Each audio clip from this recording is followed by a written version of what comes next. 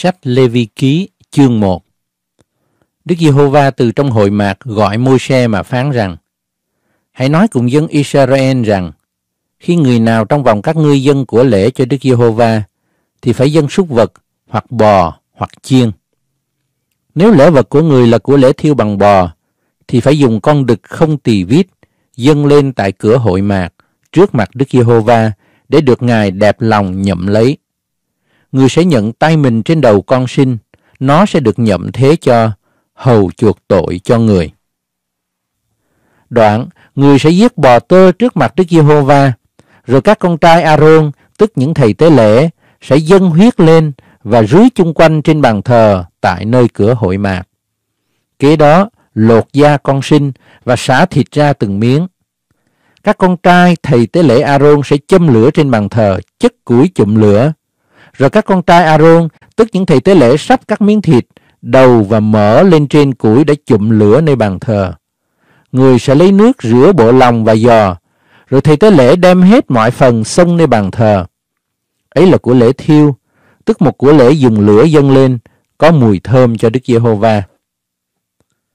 Nếu lễ vật người là của lễ thiêu bằng súc vật nhỏ hoặc chiên hay dê, thì phải dâng một con đực không tỳ vít giết nó nơi hướng bắc của bàn thờ trước mặt Đức Giê-hô-va.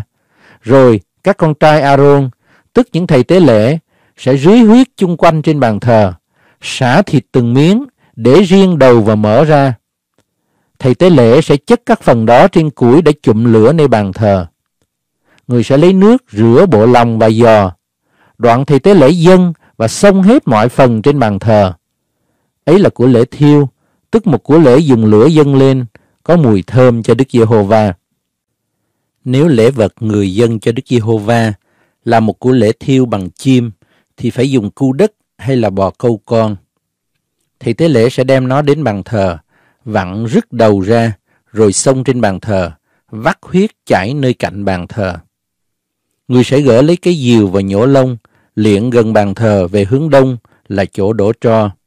Đoạn, xé nó ra tại nơi hai cánh, nhưng không cho rời. Rồi thầy tế lễ sẽ đem xông trên bàn thờ, tại trên củi để chụm lửa. Ấy là của lễ thiêu, tức một của lễ dùng lửa dâng lên, có mùi thơm cho Đức Giê-hô-va.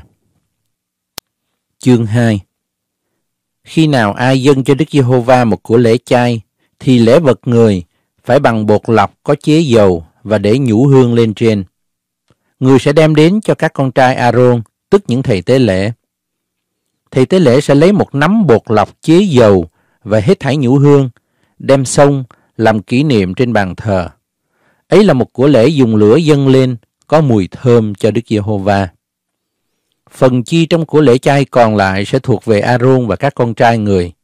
Ấy là một vật chí thánh trong các của lễ dùng lửa dâng cho Đức Giê-hô-va. Khi nào ngươi dùng vật chi hấp lò làm của lễ chay, thì phải lấy bột mịn làm bánh nhỏ không men nhồi dầu và bánh tráng không men thoa dầu. Nếu ngươi dùng vật chiên trong chảo đang làm của lễ chay, thì phải bằng bột mịn không pha men nhồi với dầu, bẻ ra từ miếng và chế dầu trên. Ấy là của lễ chay.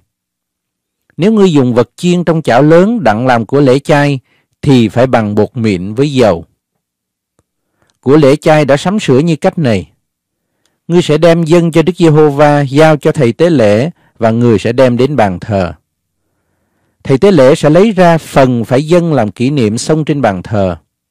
Ấy là một của lễ dùng lửa dâng lên, có mùi thơm cho Đức Giê-hô-va. Phần chi trong của lễ chay còn lại sẽ thuộc về A-rôn và các con trai người. Ấy là một vật chí thánh trong các của lễ dùng lửa dâng cho Đức Giê-hô-va hễ của lễ chay các ngươi dân cho Đức Giê-hô-va thì chớ dân với men, vì các ngươi chớ dùng men hay mật, xông với của lễ chi dùng lửa dâng cho Đức Giê-hô-va. Các ngươi được dâng những vật đó cho Đức Giê-hô-va như của lễ đầu mùa, nhưng chẳng nên đốt trên bàn thờ như của lễ có mùi thơm. Phải nêm muối các của lễ chay, chớ nên dâng lên thiếu muối, vì muối là dấu hiệu về sự giao ước của Đức Chúa Trời đã lập cùng ngươi trên các lễ vật, ngươi phải dâng muối. Nếu ngươi dùng hoa quả đầu mùa đặng làm của lễ chay tế Đức Giê-hô-va, thì phải bằng vé lúa rang, hột lúa mới tán ra đổ dầu vào và thêm nhũ hương, ấy là của lễ chay. Đoạn thì tế lễ lấy một phần hột tán ra với dầu và hết thảy nhũ hương mà xông làm kỷ niệm. Ấy là của lễ dùng lửa dân cho Đức Giê-hô-va. Chương 3 Phạm khi nào ai dân của lễ thù ân bằng bò hoặc đực hoặc cái thì phải dâng lên trước mặt Đức Giê-hô-va không tỳ vít chi. Người sẽ nhận tay mình trên đầu con sinh của mình, rồi giết nó tại cửa hội mạc. Các con trai Aaron, tức những thầy tế lễ, sẽ rải huyết chung quanh trên bàn thờ.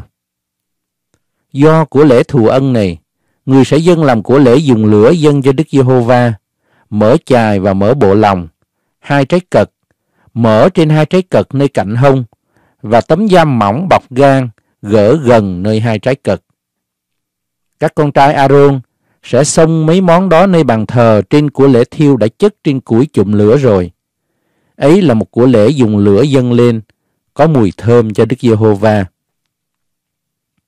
Nếu người dân cho Đức Giê-hô-va của lễ thù ân bằng chiên, hoặc đực, hoặc cái, thì phải dâng lên không tỳ vít chi. Ví của lễ bằng chiên con thì phải dâng nó lên trước mặt Đức Giê-hô-va, nhận tay mình trên đầu con sinh, rồi giết nó trước cửa hội mạc. Các con trai Aaron sẽ rải huyết chung quanh trên bàn thờ. Do của lễ thù ân này, người phải dâng làm của lễ dùng lửa dâng cho Đức Giê-hô-va, mở và cái đuôi nguyên, chặt gần cuối xương sống, mở chài và mở bộ lòng, hai trái cật, mở trên hai trái cật nơi cạnh hông và tấm da mỏng bọc gan, gỡ gần nơi hai trái cật. Thầy tế lễ sẽ xông các món đó trên bàn thờ. Ấy là thực vật về của lễ dùng lửa dâng cho Đức Giê-hô-va. Nếu của lễ người bằng con dê cái, thì phải dâng lên trước mặt Đức Giê-hô-va, nhận tay mình trên đầu con sinh, rồi giết nó trước mặt hội mạc. Các con trai Aaron sẽ rải huyết chung quanh trên bàn thờ. Do của lễ thù ân này, người phải dâng làm của lễ dùng lửa dâng cho Đức Giê-hô-va, mở chài và mở bộ lòng, hai trái cật, mở trên hai trái cật nơi cạnh hông và tấm da mỏng bọc gan gỡ gần nơi hai trái cực Thầy tế lễ sẽ xông các món đó trên bàn thờ. Ấy là thực vật về của lễ dùng lửa dâng lên có mùi thơm. Hết thảy mỡ đều thuộc về Đức Giê-hô-va. Ấy đó là luật lệ đời đời cho dòng dõi các ngươi, mặc dầu ở nơi nào. Ngươi chẳng nên ăn mỡ hay là huyết. Chương 4 Đức Giê-hô-va lại phán cùng Môi-se rằng Hãy nói cùng dân Israel rằng khi nào ai lầm lỡ mà phạm một trong các điều răn của Đức Giê-hô-va và làm điều chẳng nên làm. Nếu là thầy tế lễ chịu sức dầu rồi mà phạm tội, và vì cớ đó gây cho dân sự phải mắc tội, thì vì tội mình đã phạm, người phải dâng cho Đức Giê-hô-va một con bò tơ không tỳ vít chi, đặng làm của lễ chuộc tội. Người sẽ dẫn bò tơ đó đến cửa hội mạc trước mặt Đức Giê-hô-va, nhận tay mình trên đầu nó, rồi giết nó trước mặt Đức Giê-hô-va. Thầy tế lễ chịu sức dầu rồi, sẽ lấy huyết bò tơ đem vào trong hội mạc, nhúng ngón tay mình trong huyết, rải bảy lần trước mặt Đức Giê-hô-va, đối ngang bức màn nơi đền thánh. Đoạn, thầy tế lễ sẽ bôi huyết trên các sừng của bàn thờ sông Hương ở trong hội mạc, trước mặt Đức Giê-hô-va, và đổ hết thảy huyết bò tơ nơi chân bàn thờ về của lễ thiêu để trước cửa hội mạc. Người phải gỡ những mỡ của con bò dùng làm của lễ chuộc tội, tức là mỡ chài và mỡ bộ lòng, hai trái cật, mỡ trên hai trái cật nơi cạnh hông, tấm da mỏng bọc gan gỡ gần nơi hai trái cật, như gỡ các phần này của bò tơ dùng làm của lễ thù ân. Rồi thầy tế lễ sẽ xông các món đó trên bàn thờ về của lễ thiêu. Còn da, hết thảy thịt, đầu, giò, bộ lòng và phẫn, tức con bò tơ nguyên, người phải đem ra khỏi trại quân đến một nơi tinh sạch là chỗ họ đổ cho, rồi chất trên củi nơi lửa và thiêu nó đi, tức là thiêu nó tại chỗ đổ cho vậy. Nếu cả hội chúng Israel vì lầm lỡ phạm một trong các điều răn của Đức Giê-hô-va và làm điều không nên làm mà vốn không tự biết và vì cớ đó phải mắc tội. Nếu tội phạm ấy vừa mới lộ ra, thì hội chúng phải dâng một con bò tơ đặng làm của lễ chuộc tội, dẫn nó đến trước hội mạc.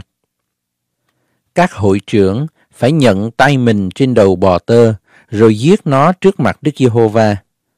Thầy tế lễ chịu sức dầu rồi, sẽ đem huyết con bò tơ vào hội mạc, nhúng ngón tay mình trong huyết, rải bảy lần trước mặt Đức Giê-hô-va đối ngang bức màn.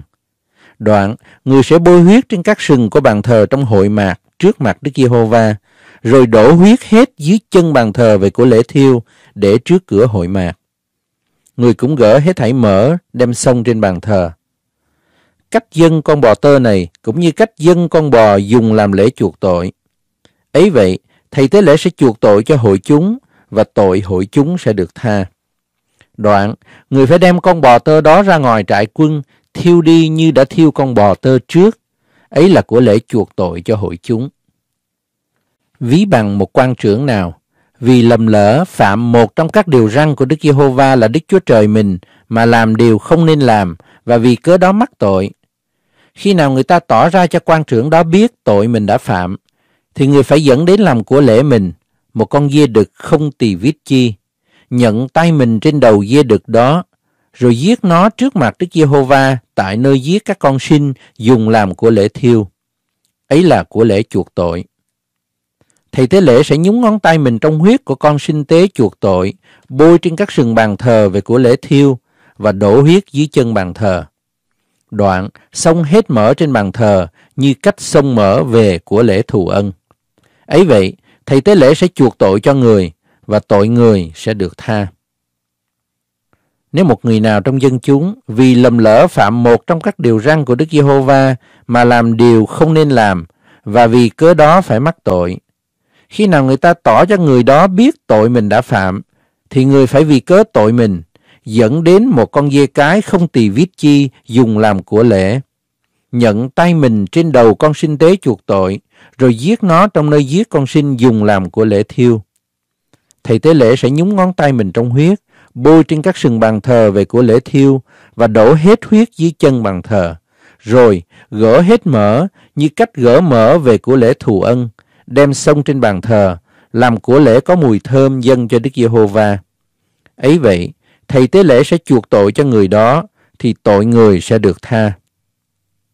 Nếu của lễ chuộc tội người bằng chiên con, thì phải dâng một con cái chẳng tỳ vít chi, nhận tay mình trên đầu con sinh tế chuộc tội, rồi giết nó tại nơi giết con sinh dùng làm của lễ thiêu. Đoạn, thầy tế lễ sẽ nhúng ngón tay mình trong huyết, bôi trên các sừng bàn thờ về của lễ thiêu, và đổ hết huyết dưới chân bàn thờ. Gỡ hết mỡ như cách gỡ mỡ của chiên con dùng làm của lễ thù ân, đem sông trên bàn thờ như các của lễ dùng lửa dân cho Đức Giê-hô-va. Ấy vậy, thầy tế lễ sẽ chuộc tội cho người đó, thì tội người sẽ được tha. Chương 5 Khi người nào làm chứng bị bắt thề rồi và phạm tội vì không tỏ ra điều mình đã thấy hay là đã biết, thì người đó sẽ mang tội mình. Khi ai sẽ đụng đến một vật ô uế, hoặc thây của con thú nhà không tinh sạch, hoặc thây của con thú rừng không tinh sạch, hoặc thây của loài côn trùng nào không tinh sạch mà không tự biết, thì sẽ bị ô uế và mắc tội. Khi ai, hoặc tự biết hay không biết, sẽ đụng đến sự ô uế nào của loài người, không cứ bị ô uế cách nào, thì cũng sẽ mắc tội. Khi ai nói sơ ý thề thốt làm ác hay là làm thiện, mặc dầu cách nào, trước không ngờ đến, rồi sau lại tự biết, thì ai đó sẽ mắc tội trong điều này hay là điều kia. Vậy, khi nào ai mắc tội về một trong các điều này, thì phải xưng mình phạm tội chi. Rồi, vì tội mình đã phạm, dẫn đến Đức Giê-hô-va một con cái trong bầy súc vật nhỏ, hoặc chiên cái hay là dê cái, đặng làm của lễ chuộc tội, thì thầy tế lễ sẽ làm lễ chuộc tội cho người. Nếu không phương thế lo cho có một chiên cái hay là một dê cái được, thì phải vì tội mình đã phạm, đem đến cho Đức Giê-hô-va một cặp cu hay là cặp bò câu con. Một con dùng làm của lễ chuộc tội, một con dùng làm của lễ thiêu. Người sẽ đem cặp đó đến cho thầy tế lễ. Thầy tế lễ sẽ dâng trước, con dùng làm của lễ chuộc tội, vặn rứt đầu gần nơi gái cổ, không gãy lìa ra. Đoạn, rải huyết của con sinh tế chuộc tội trên một phía của bàn thờ. Huyết còn dư lại thì vắt dưới chân bàn thờ. Ấy là một của lễ chuộc tội. Còn chim kia, người phải tùy theo lệ đã định, dùng làm một của lễ thiêu. Ấy vậy, thì tế lễ sẽ vì người đó làm lễ chuộc tội người đã phạm, thì tội người sẽ được tha. Nếu không phương thế lo cho có một cặp cu hay là cặp bò câu con được, thì người vì tội mình đã phạm phải đem một phần mười epha bột lọc làm của lễ chuộc tội. Không nên đổ dầu trên và cũng không nên thêm nhũ hương vì là một của lễ chuộc tội. Người sẽ đem bột đó đến thầy tế lễ. Thầy tế lễ sẽ bốc một nắm làm kỷ niệm và xông trên bàn thờ như cách xông của lễ dùng lửa dâng cho Đức Giê-hô-va.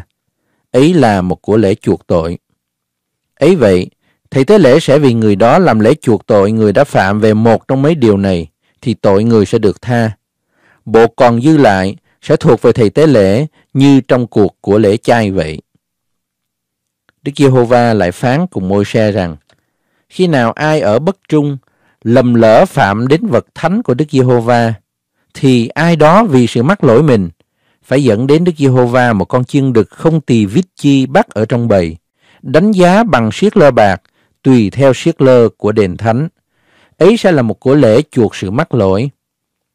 Người đó phải bồi thường và phụ thêm một phần năm giá trị của vật mình đã phạm đến nơi đền thánh, rồi giao vật đó cho thầy tế lễ. Thầy tế lễ sẽ dùng chiên con đực về của lễ chuộc sự mắc lỗi mà làm lễ chuộc tội cho người ấy và tội người sẽ được tha. Khi nào ai phạm một trong các điều răn của Đức Giê-hô-va mà không tự biết và làm điều không nên làm, thì ai đó sẽ mắc lỗi và mang lấy tội mình. Người vì sự lỗi mình phải dẫn đến thầy tế lễ một con chiên đực không tỳ vít chi bắt trong bầy, tùy theo ý ngươi đánh giá, rồi thầy tế lễ sẽ làm lễ chuộc lỗi cho người đã lầm lỡ phạm tội và không tự biết, thì lỗi người sẽ được tha. Ấy là của lễ chuộc sự mắc lỗi, người hẳn phải mắc lỗi cùng Đức Giê-hô-va vậy. Chương 6 Đức Giê-hô-va lại phán cùng Mô-se rằng, khi nào ai mắc tội phạm đến Đức Giê-hô-va, hoặc nói dối cùng người lân cận mình về đồ vật gửi hay là tin mà giao cho, hoặc về một tài vật trộm cắp, hoặc giật lấy của người lân cận mình, hoặc nếu xí được một của mất mà nói dối về của đó, hoặc thề dối về một trong các việc người ta phạm tội được. Khi nào đã phạm và mắc lỗi như vậy, thì phải trả lại vật mình đã ăn cắp, hoặc vật đã giật lấy, hoặc vật đã tin gửi cho, hoặc vật làm mất xí được, hoặc về các món người đã thề dối. Người phải thường nguyên lại và phụ thêm một phần năm giá trị mà giao cho chủ vật đó ngày nào mình dân của lễ chuộc sự mắc lỗi. Tùy theo sự đánh giá của ngươi, người ấy phải bắt trong bầy một chiên đực không tỳ vít chi dẫn đến thầy tế lễ mà dân cho Đức Giê-hô-va đặng làm của lễ chuộc sự mắc lỗi mình. Thầy tế lễ sẽ làm lễ chuộc tội cho người trước mặt Đức Giê-hô-va thì lỗi người sẽ được tha, bất luận lỗi nào người đã mắc. Đức Giê-hô-va lại phán cùng Môi-se rằng, hãy truyền lệnh này cho A-rôn cùng các con trai người. Này là luật về của lễ thiêu. Của lễ thiêu phải ở trên đống lửa tại bàn thờ trọn đêm cho đến sáng mai, và lửa của bàn thờ giữ cho cháy luôn. Thầy tế lễ sẽ mặc áo lá trong và quần bằng vải gai che thân mình, rồi hút tro của lửa đã đốt của lễ thiêu trên bàn thờ và đổ gần bên bàn thờ. Đoạn, cổi áo này, mặc áo khác, đem tro này ra ngoài trại quân, đổ trong một nơi tinh sạch. Lửa trên bàn thờ phải cháy luôn luôn, không nên tắt. Mỗi buổi sáng, thầy tế lễ sẽ lấy củi chụm lửa thêm, sắp của lễ thiêu lên trên và xong những mỡ về của lễ thù ân tại đó. Lửa hằng cháy luôn luôn trên bàn thờ, chẳng nên tắt. Đây là luật về của lễ chay. Các con trai Aaron phải dâng của lễ này tại phía trước bàn thờ, trước mặt Đức Giê-hô-va. Họ sẽ lấy một nắm bột lọc trong của lễ chay và dầu, cùng hết thảy nhũ hương ở trên, đem xông trên bàn thờ làm kỷ niệm về một của lễ có mùi thơm cho Đức Giê-hô-va. Phần còn dư lại, Aaron và các con trai người sẽ ăn không pha men tại một nơi thánh, tức là ăn tại hành lang của hội mạc. Họ không nên nấu bột đó với men. Ấy là phần ta cho họ do trong các của lễ ta dùng lửa dâng lên. Thật là một vật chí thánh như của lễ chuộc tội và của lễ chuộc sự mắc lỗi. Phàm người nam trong vòng con cái Aaron sẽ ăn lấy. Ấy là một luật lệ đời đời cho dòng dõi các ngươi về những của lễ dùng lửa dâng cho Đức Giê-hô-va. Ai đụng đến những của lễ đó sẽ nên thánh. Đức Giê-hô-va lại phán cùng Mô-xe rằng, này là của lễ A-rôn và các con trai người phải dâng cho Đức Giê-hô-va trong ngày họ chịu phép sức dầu. Một phần mười epha bột lọc làm của lễ chay thường thường, sáng một phân nửa, chiều một phân nửa. Của lễ đó sẽ chiên sẵn trên chảo trộn với dầu. Chín rồi, ngươi phải đem đến, cắt ra từ miếng sẵn, dâng lên có mùi thơm cho Đức Giê-hô-va. Con trai nào của A-rôn chịu sức dầu đặng thế cho người làm thầy tế lễ cũng phải dân của lễ này. Ấy là một luật lệ đời đời trước mặt Đức Giê-hô-va. Họ phải xong hết trọn của lễ này. Phàm của lễ chay của thầy tế lễ nào thì phải đốt hết, không nên ăn. Đức Giê-hô-va lại phán cùng Môi-se rằng, hãy truyền cho A-rôn và các con trai người rằng, đây là luật về của lễ chuộc tội. Phải giết con sinh tế chuộc tội trước mặt Đức Giê-hô-va, tại nơi người ta giết con sinh về của lễ thiêu. Ấy là một vật chí thánh. Thầy tế lễ đứng dân con sinh tế chuộc tội, phải ăn thịt nó trong một nơi thánh, tức là trong hành lang của hội mạc. Hễ ai đụng đến thịt con sinh sẽ nên thánh, và nếu huyết nó văng trên áo nào, thì phải giặt áo đó trong một nơi thánh. Nồi đất dùng nấu thịt đó sẽ đập bể đi. Nếu nồi nấu bằng đồng thì sẽ cạo và rửa nước cho sạch. Hễ người nam trong vòng những thầy tế lễ sẽ ăn thịt đó, ấy là một vật chí thánh. Nhưng chẳng nên ăn thịt con sinh tế chuộc tội, có huyết nó đem vào hội mạc, đặng làm của lễ chuộc tội nơi đền thánh. Hãy đốt nó đi. Chương 7 Đây là luật lệ về của lễ chuộc sự mắc lỗi. Ấy là một vật chí thánh. Trong nơi người ta giết con sinh dùng làm của lễ thiêu, thì hãy giết con sinh tế chuộc sự mắc lỗi, rồi rưới huyết ở chung quanh trên bàn thờ. Đoạn dân hết thảy mỡ, đuôi và mỡ chài, hai trái cật và mở hai trái cật nơi cạnh hông và tấm da mỏng bọc gan, gỡ gần nơi hai trái cật. Thì tế lễ sẽ xông hết trên bàn thờ làm của lễ dùng lửa dân cho Đức Giê-hô-va. Ấy là một của lễ chuộc sự mắc lỗi. Mọi người nam trong vòng những thầy tế lễ sẽ ăn thịt đó tại trong một nơi thánh. Ấy là một vật chí thánh. Của lễ chuộc sự mắc lỗi cũng như của lễ chuộc tội đồng một luật lệ nhau. Con sinh sẽ thuộc về thầy tế lễ nào đã dùng nó làm lễ chuộc tội. Còn thầy tế lễ dân của lễ thiêu cho ai sẽ được miếng da của con sinh dùng làm của lễ thiêu đó. Phàm của lễ chay nào, hoặc nấu trong lò, hoặc chiên trên chảo hay là nướng trên vỉ, thì thuộc về thầy tế lễ đã đứng dân. Phàm của lễ chay hoặc chế dầu hoặc khô, phải cứ một mực phân cho các con trai Aaron. Đây là luật lệ về của lễ thù ân mà người ta phải dâng cho Đức Giê-hô-va. Nếu ai dâng của lễ đó đặng cảm tạ, thì phải dâng chung với của lễ thù ân những bánh nhỏ không pha men, chế dầu, bánh tráng không pha men thoa dầu, bột lọc trộn làm bánh nhỏ chế dầu. Lại phải thêm bánh có pha men mà dâng với của lễ thù ân cảm tạ. Họ sẽ lấy một phần trong mỗi lễ vật làm của lễ chay dơ lên dâng cho Đức Giê-hô-va. Của lễ đó sẽ thuộc về thầy tế lễ đã rưới huyết của con sinh tế thù ân. Thịt của con sinh tế cảm tạ thù ân thì phải ăn hết nội ngày đã dâng lên, không nên để sót chi lại đến sáng mai. Nếu của lễ dâng về việc thường nguyện hay là lạc ý, thì phải ăn con sinh đó nội trong ngày đã dâng lên, còn dư lại thì ăn ngày mai. Nhưng phần còn dư lại đến ngày thứ ba thì phải thiêu đi. Nếu ai ăn thịt của lễ thù ân trong ngày thứ ba, thì người nào dân của lễ đó sẽ chẳng được nhậm và chẳng kể chi của lễ đó cho người nữa. Ấy là một điều gớm ghê, ai ăn thịt đó sẽ mang lấy tội mình. Cũng chẳng nên ăn thịt đã đụng đến vật chi ô uế phải thiêu đi. Còn thịt nào ăn được, ai tinh sạch mới nên ăn. Ai đã bị ô uế lại ăn thịt của lễ thù ân vẫn thuộc về Đức Giê-hô-va thì sẽ bị trút khỏi dân sự mình. Nếu ai đụng đến sự ô uế hoặc của loài người hoặc của loài vật hay là điều gì ghê gớm mà lại ăn thịt của lễ thù ân vẫn thuộc về Đức Giê-hô-va thì sẽ bị trút khỏi dân sự mình. Đức Giê-hô-va lại phán cùng Mô-se rằng Hãy truyền cho dân Israel rằng chẳng nên ăn một thứ mỡ nào của bò, chiên hay là dê. Mỡ của con thú nào chết hay là bị xé sẽ được dùng về mọi việc nhưng các ngươi không nên ăn, vì ai ăn mỡ của những thú người ta dùng lửa dân cho Đức Giê-hô-va sẽ bị trút khỏi dân sự mình. Trong nơi nào các ngươi ở chẳng nên ăn huyết, hoặc của loài chim hay là của loài súc vật. Phàm ai ăn một thứ huyết nào sẽ bị trút khỏi dân sự mình. Đức Giê-hô-va còn phán cùng Mô-se rằng, hãy truyền cho dân Israel rằng, người nào dân của lễ thù ân cho Đức Giê-hô-va phải đem đến cho Ngài lễ vật do trong của lễ thù ân mình. Chính tay người sẽ đem phần phải dùng lửa dân cho Đức Giê-hô-va, tức là mỡ và cái o. Cái o để đặng dùng làm của lễ đưa qua đưa lại trước mặt Đức Giê-hô-va.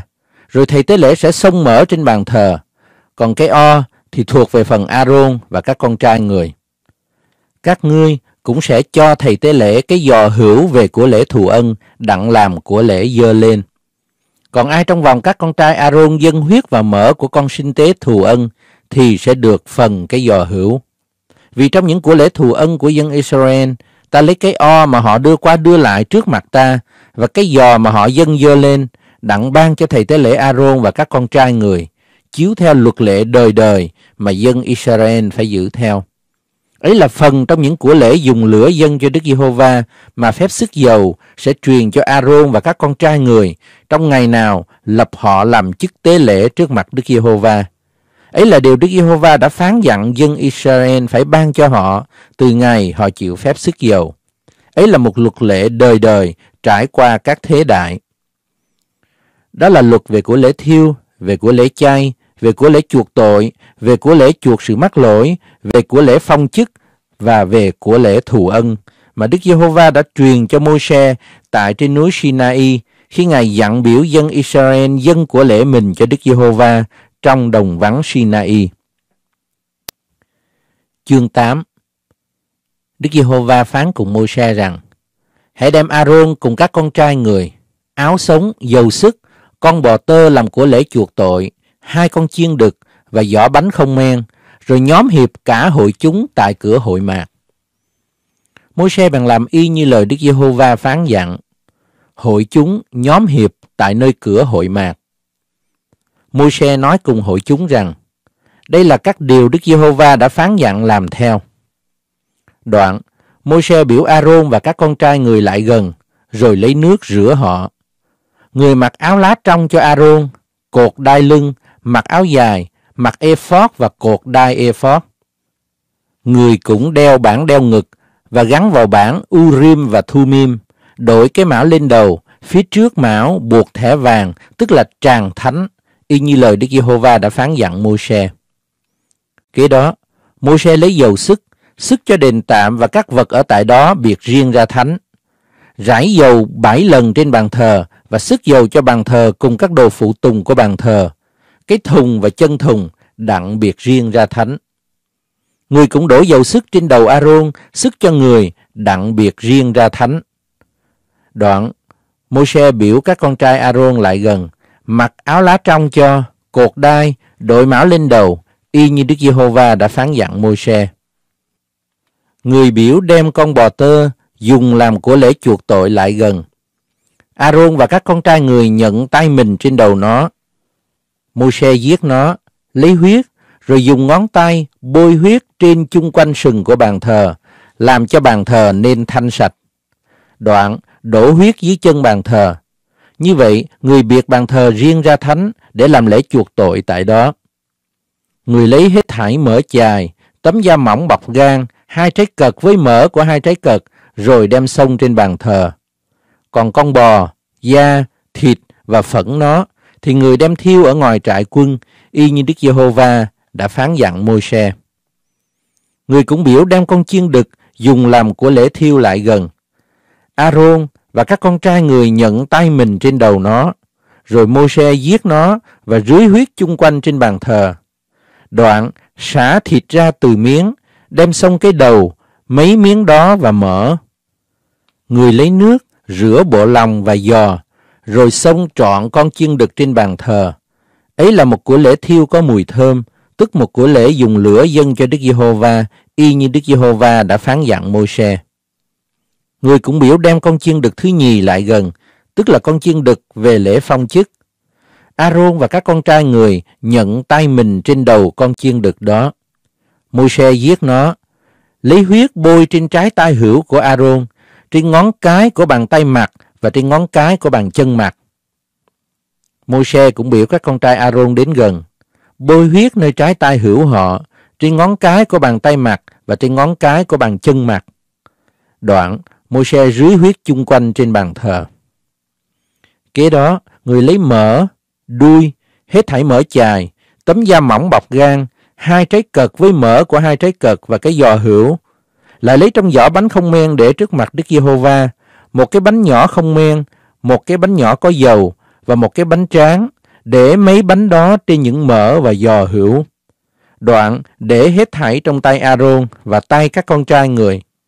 Họ đưa qua đưa lại trước mặt Đức Giê-hô-va. Môi-se lấy các món đó khỏi tay họ, đem xông lên bàn thờ tại trên của lễ thiêu. Ấy là của lễ về sự phong chức có mùi thơm, tức là của lễ dùng lửa dâng cho Đức Giê-hô-va. Môi-se cũng lấy cái o của con chiên đực về lễ phong chức và đưa qua đưa lại trước mặt Đức Giê-hô-va. Ấy là phần thuộc về Môi-se, y như Đức Giê-hô-va đã phán dặn người. Kế ấy, Môi-se lấy dầu sức và huyết trên bàn thờ, rải trên Aaron và trên quần áo người, trên các con trai người và trên quần áo họ, biệt Aaron và quần áo người, các con trai người và quần áo họ riêng ra thánh. Đoạn Môi-se nói cùng Aaron và các con trai người rằng, các ngươi hãy nấu thịt tại cửa hội mạc và ăn tại đó với bánh ở trong giỏ về lễ phong chức, y như ta đã phán dặn rằng, Aaron và các con trai người sẽ ăn thịt đó.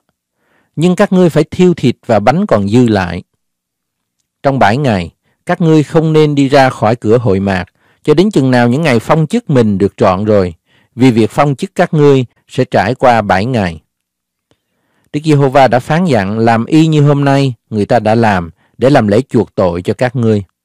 Vậy, hãy ở trọn ngày cả đêm tại cửa hội mạc trong bảy bữa, gìn giữ mạng lệnh của Đức Giê-hô-va, hầu cho các ngươi khỏi thác, vì Ngài đã truyền dặn ta như vậy. Aaron và các con trai người làm mọi điều y như Đức Giê-hô-va cậy môi-se truyền dặn vậy. Chương 9 Qua ngày thứ 8, môi-se gọi Aaron và các con trai người cùng những trưởng lão của Israel rồi dạy Aaron rằng Hãy bắt một con bò đực đặng làm của lễ chuộc tội, một con chiên đực làm của lễ thiêu, đều không tỳ vít chi và dâng lên trước mặt Đức Giê-hô-va. Ngươi hãy nói cùng dân Israel rằng các ngươi hãy bắt một con dê đực làm của lễ chuộc tội, một con bò con và một con chiên con không tỳ vít chi, một tuổi, đặng dùng làm của lễ thiêu. Một con bò tơ, một con chiên đực đặng dùng làm của lễ thù ân, để dâng lên trước mặt Đức Giê-hô-va và một của lễ chay chế dầu. Vì ngày nay, Đức Giê-hô-va sẽ hiện ra cùng các ngươi. Vậy, họ dẫn đến trước hội mạc những vật môi-se đã dặn biểu, rồi cả hội chúng đến gần đứng trước mặt Đức Giê-hô-va. Môi-se nói rằng, đây là các điều Đức Giê-hô-va phán dặn, hãy làm đi, thì sự vinh quang của Đức Giê-hô-va sẽ hiện ra cùng các ngươi. Đoạn, Môi-se nói cùng A-rôn rằng, ngươi hãy đến gần bàn thờ, dân của lễ chuộc tội và của lễ thiêu của ngươi đi, để vì ngươi và vì dân sự làm lễ chuộc tội. Lại cũng hãy dân của lễ của dân sự và làm lễ chuộc tội cho họ, y như Đức Giê-hô-va đã phán dặn vậy. A-rôn bèn lại gần bàn thờ, giết bò con đực dùng làm của lễ chuộc tội. Các con trai người đem huyết đến, người nhúng ngón tay vào, bôi trên các sừng bàn thờ, rồi đổ huyết dưới chân bàn thờ. Người lấy đem sông trên bàn thờ mở hai trái cật và tấm da mỏng bọc gan của con sinh tế chuộc tội, y như Đức Giê-hô-va đã phán dặn môi-se. Còn thịt và da, người đem ra thiêu ngoài trại quân. Đoạn, người giết con sinh dùng làm của lễ thiêu, các con trai Aaron đem huyết đến, người rưới chung quanh trên bàn thờ. Họ cũng đem cho Aaron thịt của lễ thiêu xả ra từ miếng và đầu, rồi người xông hết trên bàn thờ. Đoạn, người rửa bộ lòng và các giò đem xông trên của lễ thiêu nơi bàn thờ. Người cũng dân của lễ của dân sự, bắt con dê đực dùng làm của lễ chuộc tội cho dân sự, giết nó và dâng lên đặng chuộc tội, y như của lễ đầu tiên. Lại, người cúng dân của lễ thiêu theo luật lệ đã định. Kế đó, người dân của lễ chay, trút đầy bụng tay mình đem xông trên bàn thờ, ngoại trừ của lễ thiêu hồi ban mai. Người cũng vì dân sự giết con bò tơ và con chiên đực làm của lễ thù ân. Các con trai Aaron đem huyết đến và người rưới chung quanh trên bàn thờ. Họ cũng đem đến cho người mỡ của con bò tơ và con chiên đực, đuôi, mỡ trên bộ lòng, hai trái cật và tấm da mỏng bọc gan, để những mỡ này trên o, rồi xông mỡ nơi bàn thờ. Đoạn, Aaron lấy cái o và giò hữu đưa qua đưa lại trước mặt Đức Giê-hô-va, y như Môi-se đã dặn biểu. Aaron giơ tay mình trên dân sự chúc phước cho. Sau khi dân của lễ chuộc tội, của lễ thiêu và của lễ thù ân, thì người bước xuống khỏi bàn thờ. Môi-se và Aaron bèn vào hội mạc, kế lại ra chúc phước cho dân sự. Sự vinh quang của Đức Giê-hô-va hiện ra cùng cả dân sự. Một ngọn lửa từ trước mặt Đức Giê-hô-va lòe ra thiêu hóa của lễ thiêu và mở trên bàn thờ. Cả dân sự thấy đều cất tiếng reo mừng và sắp mặt xuống đất. Chương 10 Hai con trai Aaron, Nadab và Abihu, mỗi người đều cầm lư hương mình, để lửa vào, bỏ hương lên và dâng một thứ lửa lạ trước mặt Đức Giê-hô-va. Ấy là điều Ngài không phán dặn họ. Một ngọn lửa từ trước mặt Đức Giê-hô-va lòe ra, nuốt tiêu họ và họ chết trước mặt Đức Giê-hô-va. Môi-se bèn nói cùng A-rôn rằng, ấy là điều Đức Giê-hô-va đã tỏ ra khi Ngài phán rằng, ta sẽ nhờ những kẻ lại gần ta mà được tôn thánh và được vinh hiển trước mặt cả dân sự. A-rôn nín lặng. Môi-se gọi Misael và En-sa-phan, hai con trai của Ucien, chú của A-rôn, mà dạy rằng, hãy lại gần, khiêng thay hai anh em các ngươi khỏi trước nơi thánh, đem ra ngoài trại quân. Vậy, họ đến gần, khiêng thay còn mặc áo lá trong, ra ngoài trại quân, y như lời Môi-se đã biểu. Đoạn, Môi-se nói cùng Aaron, Eleasa và Ithama, hai con trai người mà rằng, các ngươi chớ để đầu trần và chớ xé áo mình, e khi phải chết và Đức Giê-hô-va nổi giận cùng cả hội chúng chăng? Nhưng anh em các ngươi là cả nhà Israel phải nên khóc vì cớ lửa thiêu hóa mà Đức Giê-hô-va nổi phừng lên. Đừng ra khỏi cửa hội mạc, e các ngươi phải chết chăng, vì dầu sức của Đức Giê-hô-va ở trên các ngươi. Họ bèn làm theo lời Môi-se. Đoạn Đức Giê-hô-va phán cùng A-rôn rằng, khi nào vào hội mạc, ngươi và các con trai ngươi chớ nên uống rượu hay là uống vật chi có tánh sai, e phải chết chăng? Ấy là một mạng lệnh đời đời trải các thế đại, hầu cho các ngươi được phân biệt điều thánh và điều chẳng thánh, sự khiết và sự chẳng khiết, và dạy dân Israel các mạng lệnh mà Đức Giê-hô-va đã cậy Môi-se truyền dặn cho. Môi-se nói cùng A-rôn, Eleasa và Ithama là hai con trai A-rôn còn lại mà rằng, hãy lấy của lễ chay còn dư lại về của lễ dùng lửa dân cho Đức Giê-hô-va và hãy ăn đi, không pha men, gần bàn thờ, vì là một vật chí thánh. Phải ăn của lễ này tại nơi thánh, vì là phần của ngươi và của các con trai ngươi trong những của lễ dùng lửa dân cho Đức Giê-hô-va, bởi vì đã phán dặn ta làm như vậy. Còn cái o, dân đưa qua đưa lại và cái giò dân dơ lên. Ngươi, các con trai và các con gái ngươi hãy ăn tại một nơi tinh sạch, vì các điều đó đã ban cho làm phần riêng của ngươi và của các con trai ngươi, do những của lễ thù ân của dân Israel. Họ sẽ đem đến cái giò dân dơ lên và cái o dân đưa qua đưa lại với những mỡ định thiêu hóa để dân đưa qua đưa lại trước mặt Đức Giê-hô-va. Những điều đó sẽ thuộc về ngươi và các con trai ngươi chiếu theo luật lệ đời đời, y như Đức Giê-hô-va đã phán dặn vậy.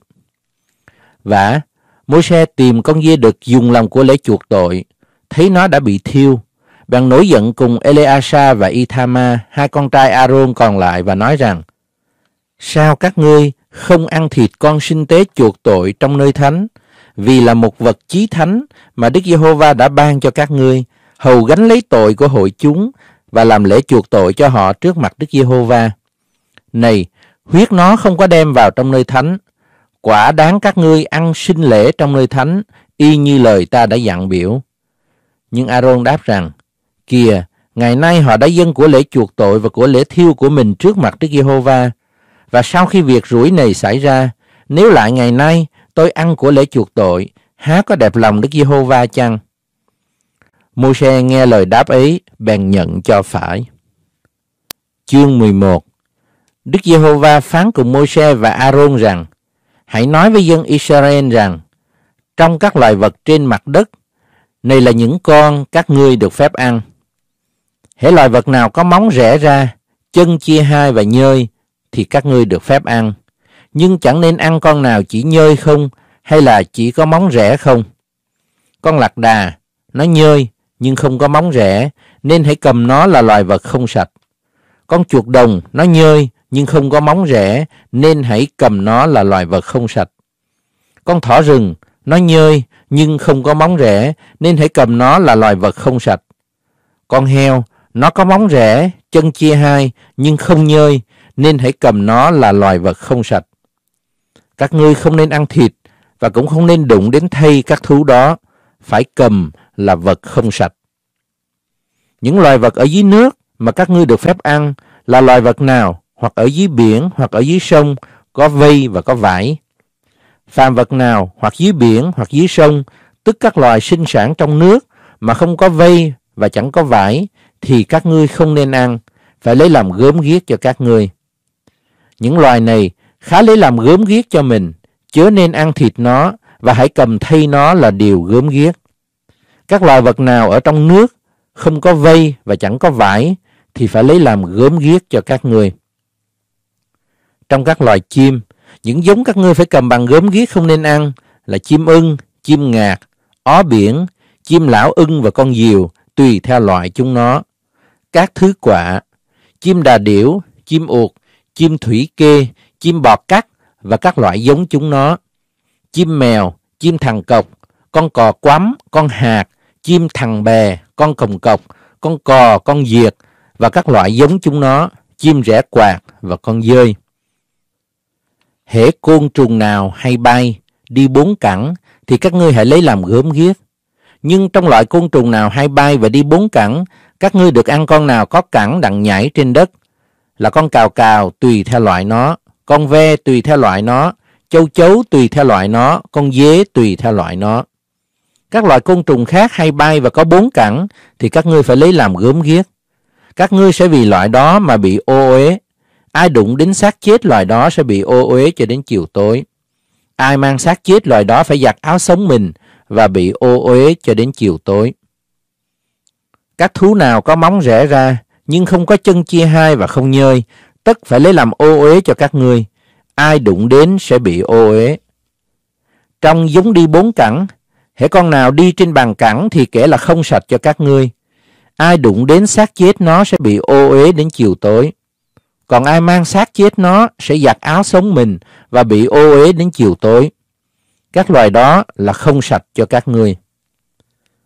Trong loài đi bò trên mặt đất, này là những loài lấy làm không sạch cho các ngươi. Con chuột nhủi, con chuột lắc, con rắn mối, tùy theo loại chúng nó. Con cắt kè, kỳ đà, con thạch sùng, con kỳ nhông và con cắt ké.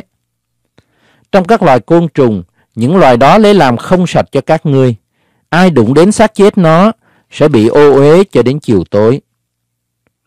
Bất luận vật nào, hệ loài này chết rớt nhầm trên thì đều bị ô uế, hoặc đồ bằng cây, áo sống, da, bao, tức các vật người ta thường dùng. Phải ngâm đồ đó trong nước, sẽ bị ô uế cho đến chiều tối rồi mới tinh sạch lại. Nếu vật chi của nó rớt nhầm đồ sành, các vật chi đựng ở trong đều sẽ bị ô uế, phải đập bể đồ sành đó đi. Phàm đồ ăn nào và các vật uống, mặc dầu để trong đồ sành nào mà bị nước đồ sành đó nhiễu vào, sẽ lây ô uế. Phàm vật nào bị một vài miếng xác chết nó rớt nhầm, sẽ lây ô uế. Dầu lò, dầu bếp cũng phải phá tan. Nó đã bị ô uế, các ngươi phải cầm nó là ô uế vậy. Còn một cái suối hoặc một hồ chứa nhiều nước đều cứ được kể tinh sạch. Nhưng hễ ai đụng đến xác chết nó thì sẽ lây ô uế. Nếu vật chi của xác chết nó rớt nhầm trên hột giống nào người ta gieo thì hột giống đó cứ kể tinh sạch. Nhưng nếu người ta có đổ nước trên hột giống đó và nếu vật gì của xác chết rớt nhầm thì hột giống đó sẽ bị ô uế cho các ngươi. Khi một con thú nào các ngươi được dùng làm thực vật chết đi, hễ ai đụng đến xác nó sẽ bị ô uế đến chiều tối. Kẻ nào ăn thịt của xác nó phải giặt áo sống mình và bị lây ô uế cho đến chiều tối. Còn ai khiêng xác nó sẽ giặt áo sống và bị ô uế cho đến chiều tối. Phàm loài côn trùng nào bò trên mặt đất đều là sự gớm ghiếc, không nên ăn thịt nó. Vậy, không nên ăn thịt các loài côn trùng đi bò trên mặt đất, là con nào bò bằng bụng, con nào đi bốn cẳng hay là đi nhiều cẳng, vì chúng nó là một sự gớm ghiếc. Các ngươi chớ vì một con nào trong loài côn trùng mà lây cho thân mình phải gớm ghiếc, không tinh sạch hay là ô uế. Vì ta là Jehovah Đức Chúa Trời của các ngươi, ta là thánh, nên các ngươi phải nên thánh thì sẽ được thánh. Các ngươi chớ vì một con nào của loài côn trùng trên mặt đất mà làm lây ô uế cho thân mình. Vì ta là Đức Giê-hô-va, đấng đã đem các ngươi ra khỏi xứ Ai-cập đặng làm Đức Chúa Trời của các ngươi. Các ngươi phải nên thánh, vì ta là thánh.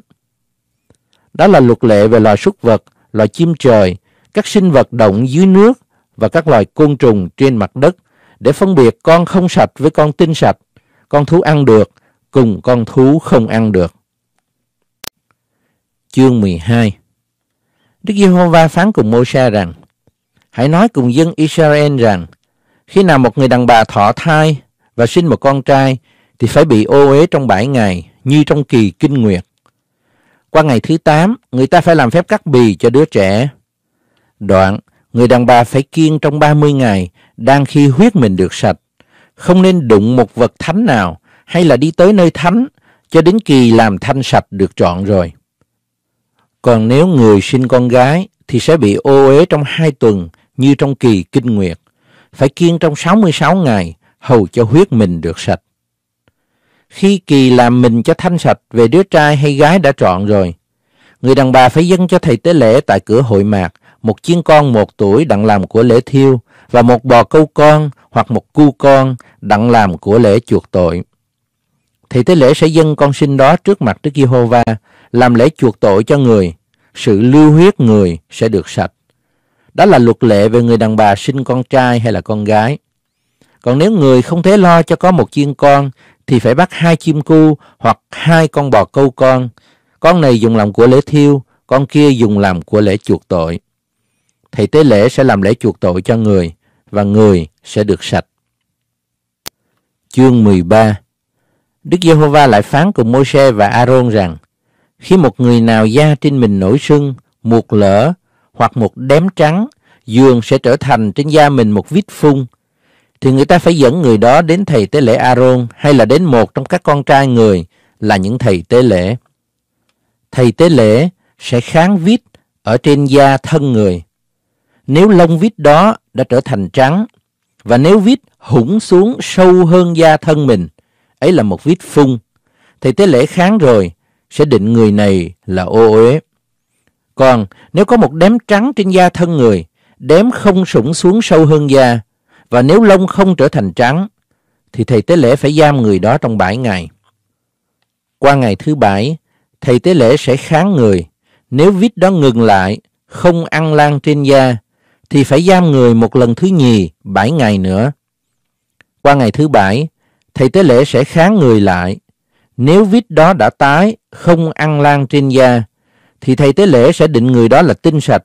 Ấy là một lỡ mà thôi người đó phải giặt áo sống mình thì sẽ được tinh sạch. Nhưng nếu sau khi người đã đến trước mặt thầy tế lễ để được định là tinh sạch, một lỡ còn phát lại trên da, thì người phải đến thầy tế lễ một lần thứ nhì. Thầy tế lễ sẽ kháng cho, nếu một lỡ đã ăn lan trên da, thì phải định người là ô uế, ấy là bệnh phun vậy. Khi có một vết phun trên người nào, thì phải dẫn người đó đi tỏ mình cùng thầy tế lễ. Thầy tế lễ kháng cho, nếu có nổi sưng sắc trắng trên da làm cho lông trở thành trắng và có một lần thịt chín đỏ nơi chỗ sưng đó, ấy là bệnh phun thâm niên trong da của thân người. Thầy tế lễ sẽ định người là ô uế, không nên giam họ vì đã bị ô uế rồi. Còn nếu phun lỡ trên da, bao phủ hết da của người có vết đó từ đầu chí chân khắp nơi nào thầy tế lễ dòm thấy được, thì thầy tế lễ phải kháng cho Nếu phun bao phủ cùng hết thịt, thì sẽ định người có vít là tinh sạch, người đã hóa trắng cùng mình nên được tinh sạch vậy. Nhưng ngày nào phát ra thịt chín đỏ thì người bị ô uế. Khi thầy tế lễ thấy thịt chín đỏ thì phải định người là ô uế. Thịt chín đỏ là ô uế, ấy là bệnh phung vậy. Nhưng nếu thịt chín đỏ thay đi hóa ra trắng thì người phải đi tỏ mình cùng thầy tế lễ. Thầy tế lễ kháng cho, và nếu vít đã trở thành trắng thì phải định người có vít là tinh sạch vì đã được tinh sạch rồi. Khi nào một người nào trên da thân mình có một chốc đã chữa lành và tại chỗ một chốc có nổi sưng sắc trắng hay là một đếm trắng hồng thì người đó phải đi tỏ mình cùng thầy tế lễ. Thầy tế lễ kháng cho nếu cái đếm hủng sâu hơn da và nếu lông trở thành trắng thì thầy tế lễ phải định người là ô uế. Ấy là một vết phun đã lỡ trong một chốc vậy. Còn nếu thầy tế lễ kháng không thấy lông trắng trong chỗ đếm, không hủng sâu hơn da và thấy đã trở thành tái thì hãy giam người đó trong 7 ngày. Nếu đếm ăn lan trên da, thì thầy tế lễ phải định người là ô uế, ấy là một vít phun vậy. Còn nếu vít cầm cự một chỗ không ăn lan ra, ấy là thẹo của một chốc, thầy tế lễ phải định người là tinh sạch. Khi người nào bị phỏng lửa trên da và dấu phỏng là một đám trắng hồng hay là trắng, thì thầy tế lễ kháng cho. Nếu trong đám lông trở thành trắng và nếu đám hủng sâu hơn da, ấy là bệnh phun lở trong một phỏng vậy. Thầy tế lễ phải định người này là ô uế, ấy là một vít phun. Còn nếu thầy tế lễ kháng, không thấy lông trắng trong đếm, không hủng sâu hơn da và thấy đã tái rồi, thì hãy giam người này trong 7 ngày. Qua ngày thứ bảy, thầy tế lễ kháng người, nếu đếm ăn lan trên da thì phải định người là ô uế, ấy là vít phun. Còn nếu đếm cầm cự một chỗ không ăn lan trên da và tái đi ấy là sưng phỏng. Thầy tế lễ phải định người là tinh sạch vì là thẹo phỏng lửa. Khi nào một người nam hay nữ có vít trên đầu hoặc nơi râu, thì thầy tế lễ kháng vít đó. Nếu vít hủng sâu hơn da, có lông nhỏ vàng vàng, thì thầy tế lễ phải định người ra ô uế. Ấy là tật đồng đanh, tức là bệnh phung của đầu hay là của râu. Còn nếu khi thầy tế lễ kháng vít đồng đanh, thấy vít không hủng sâu hơn da và không thấy có lông đen, thì phải giam người có vít đồng đanh trong 7 ngày. Qua ngày thứ bảy, thầy tế lễ kháng vít. Nếu đồng đanh không ăn lan ra, không có lông vàng vàng và không hủng sâu hơn da, thì người đó phải cạo gọt, nhưng không nên cạo gọt chỗ vít đồng đanh. Rồi thầy tế lễ sẽ giam người một lần thứ nhì 7 ngày nữa. Đoạn ngày thứ bảy, thầy tế lễ kháng cho nếu đồng đanh không ăn lan trên da, không hủng sâu hơn da, thì thầy tế lễ phải định người là tinh sạch. Kẻ bệnh phải giặt áo sống mình thì sẽ được tinh sạch. Nhưng nếu sau khi người đã được định là tinh sạch, đồng đanh lại còn ăn lan trên da, thì thầy tế lễ phải kháng cho. Nếu đồng đanh đã ăn lan trên da rồi, thầy tế lễ không cần tìm thấy lông vàng vàng, người đã bị ô uế. Nhưng nếu đồng đanh xem bộ ngừng lại và đã lố mọc lông đen, đồng đanh đã lành, người đã được tinh sạch và thầy tế lễ phải định người là tinh sạch. Khi nào người nam hay nữ trên da thân mình có những đám trắng, thầy tế lễ sẽ kháng cho. Nếu trên da thân người có những đám trắng xanh, ấy là một đám trắng lỡ trên da mà thôi, người vẫn tinh sạch. Khi một người nào đầu rụng tóc ấy là một người sói đầu, người vẫn tinh sạch. Nếu đầu người rụng tóc về phía mặt, ấy là một người sói tráng, người vẫn tinh sạch. Còn nếu trong chỗ sói phía trước hay là phía sau có một vết trắng hồng, ấy là bệnh phun lỡ ra ở chỗ sói phía trước hay là phía sau. Thầy tế lễ phải kháng cho. Nếu nơi sưng của vết trong chỗ sói phía trước hay là phía sau có màu trắng hồng, giống như bệnh phun tại da của thân người, thì người này bị phun thầy tế lễ sẽ định người là ô uế, vít người ở nơi đầu. Và người đã bị vít phun rồi phải xé quần áo, đầu trần, che râu lại và la rằng ô uế, ô uế. Trọn lúc nào người có vít thì sẽ bị ô uế, phải ở một mình ngoài trại quân. Khi nào lên mốc trên quần áo như vít phun, bất luận trên quần áo bằng lông chiên hay quần áo bằng vải gai, trên canh hay trên chỉ bằng gai, hoặc bằng lông chiên, trên da hay là trên món nào bằng da.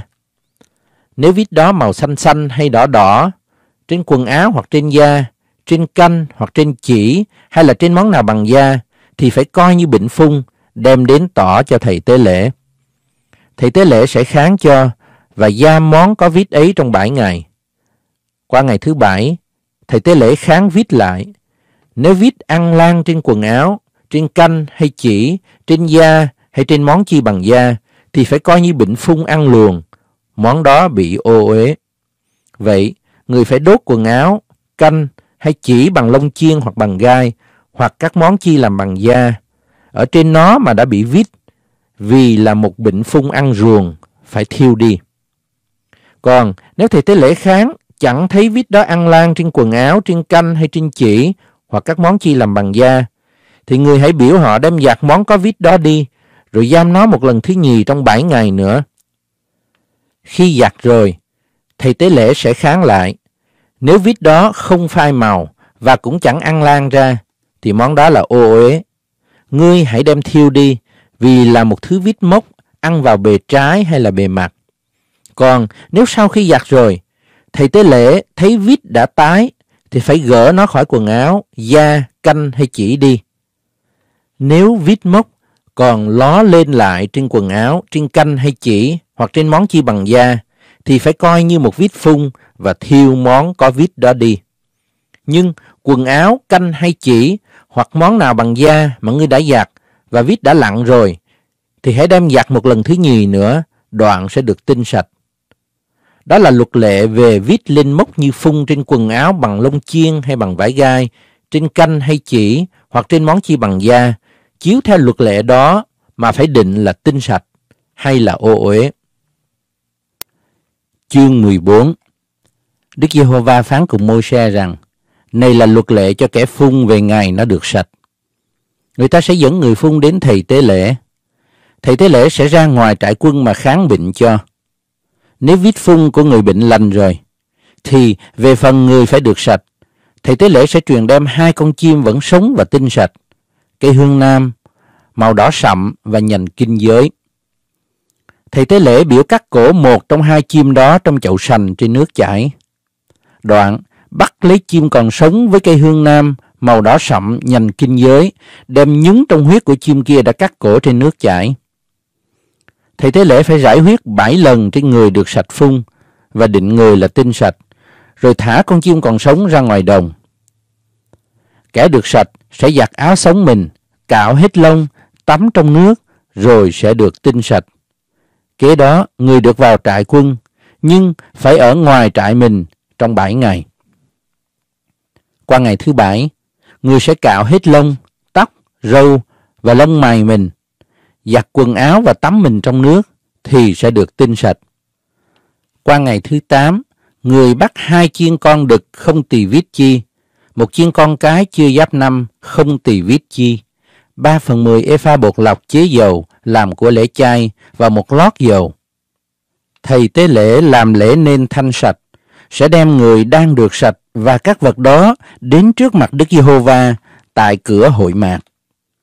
Kế đó, thầy tế lễ sẽ bắt một trong hai chiên con đực dân làm của lễ chuộc sự mắc lỗi với một lót dầu và đưa qua đưa lại trước mặt Đức Giê-hô-va. Đoạn, người giết chiên con đó trong nơi thường giết các con sinh dùng làm của lễ chuộc tội và của lễ thiêu, tức là trong một nơi thánh. Vì của lễ chuộc sự mắc lỗi thuộc về thầy tế lễ như của lễ chuộc tội vậy. Ấy là một vật chí thánh. Thầy tế lễ sẽ lấy huyết của con sinh tế chuộc sự mắc lỗi, bôi trên trái tay hữu của người được sạch, trên ngón cái tay mặt và trên ngón cái chân mặt. Đoạn, lấy lót dầu đổ trong bàn tay tả mình, nhúng ngón tay hữu vào dầu trong bàn tay tả mình, mà rải bảy lần trước mặt Đức Giê-hô-va. Dầu còn lại trong bàn tay mình, thầy tế lễ sẽ lấy bôi trên trái tay hữu của người được sạch, trên ngón cái tay mặt và ngón cái chân mặt, tức trên lớp huyết của của lễ chuộc sự mắc lỗi. Dầu còn dư lại trong bàn tay mình, thầy tế lễ sẽ đổ trên đầu người được sạch. Vậy, thầy tế lễ sẽ làm lễ chuộc tội cho người trước mặt Đức Giê-hô-va. Đoạn, thầy tế lễ sẽ dân của lễ chuộc tội đang làm lễ chuộc tội cho người được sạch sự ô uế mình. Kế đó, thầy tế lễ sẽ giết con sinh dùng làm của lễ thiêu, dâng lên với của lễ chay trên bàn thờ. Vậy, thầy tế lễ sẽ làm lễ chuộc tội cho người này, thì người này sẽ được tinh sạch. Nhưng nếu người đó nghèo nàn, không phương thế đủ dân những lễ vật này, thì phải bắt một chiên con đực dùng làm của lễ chuộc sự mắc lỗi, dân đưa qua đưa lại đặng làm lễ chuộc tội cho mình. Một phần mười bột lọc chế dầu làm của lễ chay và một lót dầu. Tùy theo phương thế mình, người cũng đem nộp hai con chim cu hay là hai bò câu con. Con này dùng làm của lễ chuộc tội, con kia dùng làm của lễ thiêu. Qua ngày thứ tám, người phải vì sự nên thanh sạch mình, đem nộp các lễ vật này cho thầy tế lễ tại cửa hội mạc, trước mặt Đức Giê-hô-va. Thầy tế lễ sẽ bắt chiên con đực định làm của lễ chuộc sự mắc lỗi và một lót dầu, rồi dâng lên đưa qua đưa lại trước mặt Đức Giê-hô-va. Đoạn, người giết chiên con dùng làm của lễ chuộc sự mắc lỗi, lấy huyết bôi trên trái tai hữu của kẻ được sạch, trên ngón cái tay mặt và trên ngón cái chân mặt. Rồi thầy tế lễ đổ dầu vào bàn tay tả mình. Ngón tay hữu nhúng lấy dầu đổ trong bàn tay tả, rải bảy lần trước mặt Đức Giê-hô-va và bôi trên trái tay hữu của người được sạch, trên ngón cái tay mặt và trên ngón cái chân mặt, tại nơi đã bôi huyết của lễ chuộc sự mắc lỗi. Dầu còn dư lại trong bàn tay, thầy tế lễ sẽ đổ trên đầu người được sạch, đặng làm lễ chuộc tội cho người trước mặt Đức Giê-hô-va. Đoạn, thầy tế lễ sẽ dâng một trong hai con chim cu hoặc một trong hai con bò câu con, tùy theo vật họ nộp. Dân con này dùng làm của lễ chuộc tội, con kia dùng làm của lễ thiêu với của lễ chay. Vậy, thầy tế lễ sẽ làm lễ chuộc tội cho người được sạch trước mặt Đức Giê-hô-va. Đó là luật lệ về lễ nên thanh sạch của kẻ nghèo nàn bị vít phung. Đức Giê-hô-va cũng phán cùng Môi-se và A-rôn rằng khi nào các ngươi sẽ vào xứ Canaan mà ta sẽ cho các ngươi làm sản nghiệp. Nếu ta dán một vít mốc như vít phun trong nhà nào của xứ các ngươi sẽ được làm sản nghiệp. Chủ nhà đó phải đến cáo cùng thầy tế lễ rằng tôi thấy như có một vít mốc trong nhà. Trước khi vào kháng vít mốc đó, thầy tế lễ phải truyền họ đem đồ đạc trong nhà ra hết, hầu cho khỏi bị lây ô uế. Sau dời xong, thầy tế lễ sẽ vào đặng kháng nhà người sẽ xem vít đó. Nếu nó ở nơi vách có lỗ màu xanh xanh hoặc đỏ đỏ, bộ sâu hơn mặt vách, thì thầy tế lễ phải đi ra đến cửa ngoài, niêm nhà lại trong bảy ngày. Ngày thứ bảy, thầy tế lễ trở lại, nếu thấy vít ăn lan ra trên vách nhà, thì phải truyền gỡ mấy cục đá bị vít lây, liện ra ngoài thành trong một nơi dơ dái. Đoạn, biểu người ta cạo trong nhà và chung quanh nhà, và hút bỏ bụi cạo đó ra ngoài thành trong một nơi dơ dái, rồi lấy đá khác trám vào chỗ đá cũ và đem hồ mới tô lại khắp nhà. Nhưng nếu sau khi đã gỡ mấy cục đá cạo nhà và tô lại, vít đó trở lại lỡ trong nhà, thì thầy tế lễ phải đến kháng nữa. Nếu thấy vít ăn lan ra, ấy là một vít phun ăn ruồng nhà, nhà đã bị ô uế. Vậy họ phải phá nhà đi, đá, gỗ và hồ, rồi đem đổ hết thảy ngoài thành trong một nơi dơ dái. Trong lúc niêm nhà, ai đi vào thì sẽ bị lây ô uế cho đến chiều tối. Ai ngủ hoặc ăn trong nhà đó phải giặt quần áo mình. Nhưng sau khi nhà đã tô rồi, nếu thầy tế lễ trở lại, kháng thấy vít không ăn lan trong nhà, thì phải định nhà là tinh sạch, vì vít đó đã lành rồi. Đặng làm lễ nên thanh sạch cho nhà, người phải lấy hai con chim, cây hương nam, màu đỏ sậm và ngành kinh giới, giết một con chim trong chậu sành trên nước chảy, rồi lấy cây hương nam, nhành kinh giới, màu đỏ sậm và con chim sống, nhúng hết trong huyết con chim đã cắt cổ trên nước chảy và rải bảy lần trên nhà. Vậy, người dùng huyết con chim, nước chảy, con chim sống, cây hương nam, nhành kinh giới và màu đỏ sậm, đặng làm lễ khiến nhà nên thanh sạch. Đoạn, người thả con chim sống bay ra ngoài thành đến nơi ruộng người sẽ làm lễ chuộc tội cho nhà, thì nhà sẽ được sạch. Đó là luật lệ về các thứ vít phun và tật đồng đanh, về vít mốc trên quần áo và nhà ở như vít phun, về chỗ sưng, chỗ lở ra và chỗ đếm, đặng dạy cho biết khi nào ô uế và khi nào tinh sạch. Đó là luật lệ về bệnh phun vậy. Chương 15 Đức Giê-hô-va lại phán cùng Môi-se và A-rôn rằng Hãy truyền cho dân Israel rằng phàm người nam nào thân mình bị bệnh bạch trượt, thì vì cớ đó bị ô uế. Sự ô uế người bởi nơi bạch trượt, hoặc thân mình chảy bạch trượt ra hay là ứ lại, thì người bị ô uế. Hễ giường nào người bệnh bạch trượt nằm đều sẽ bị ô uế, và các vật nào người ngồi trên cũng sẽ bị ô uế. Ai đụng đến giường người phải giặt quần áo mình tắm trong nước và bị ô uế đến chiều tối. Ai ngồi trên vật chi mà người bệnh bạch trượt đã ngồi phải giặt quần áo mình tắm trong nước và bị ô uế đến chiều tối. Ai đụng đến mình người bệnh bạch trượt phải giặt quần áo mình, tắm trong nước và bị ô uế đến chiều tối. Nếu người bệnh bạch trượt nhổ nhầm người nào tinh sạch, thì người đó phải giặt quần áo mình, tắm trong nước và bị ô uế đến chiều tối. Hễ xe nào người bệnh bạch trượt ngồi lên đều sẽ bị ô uế. Hễ ai đụng đến bất kỳ vật chi dưới mình người bệnh bạch trượt đều sẽ bị ô uế đến chiều tối. Còn ai mang các vật đó phải giặt quần áo mình tắm trong nước và bị ô uế đến chiều tối. Ai bị người bệnh bạch trượt rờ đến, mà nếu người bệnh đó không rửa tay mình trong nước, thì ai đó phải giặt quần áo mình, tắm trong nước và bị ô uế đến chiều tối. Đồ sành bị người bệnh bạch trượt đụng đến phải đập bể đi, còn đồ gỗ thì rửa trong nước. Và khi người nam bị bệnh bạch trượt đã lành rồi, thì phải tính từ ngày lành đến bảy ngày. Kế giặt quần áo mình và tắm trong nước chảy, đoạn người sẽ được tinh sạch. Qua ngày thứ 8, người bắt cho mình hai chim cu hay là hai con bò câu con đến trước mặt Đức Giê-hô-va tại cửa hội mạc và đưa cho thầy tế lễ. Thầy tế lễ sẽ dâng con này làm của lễ chuộc tội, con kia làm của lễ thiêu. Vậy, thầy tế lễ vì cớ bệnh bạch trượt sẽ làm lễ chuộc tội cho người trước mặt Đức Giê-hô-va. Hễ người nam di tinh phải tắm trọn mình trong nước và bị ô uế đến chiều tối. Phàm quần áo và da bị dính phải giặt rửa trong nước và bị ô uế đến chiều tối. Khi nào người nam và người nữ giao cấu nhau thì phải tắm trong nước và bị ô uế đến chiều tối. Khi nào một người nữ có kinh nguyệt phải chịu ô uế trong bảy ngày, hễ ai đụng đến người sẽ bị ô uế đến chiều tối. Phàm vật gì người nằm hay ngồi trên trong lúc mình không sạch sẽ bị ô uế. Ai đụng đến giường người phải giặt quần áo mình tắm trong nước và bị ô uế đến chiều tối. Ai đụng đến vật gì người đã ngồi trên phải giặt quần áo mình tắm trong nước và bị ô uế đến chiều tối. Nếu có vật chi nơi giường hoặc trên đồ người ngồi, hễ ai đụng đến sẽ bị ô uế đến chiều tối. Ví bằng một người nam giao cấu cùng người nữ đó và sự ô uế kinh nguyệt dính người nam, thì người nam sẽ bị ô uế trong bảy ngày. Phàm giường nào người nằm đều cũng sẽ bị ô uế.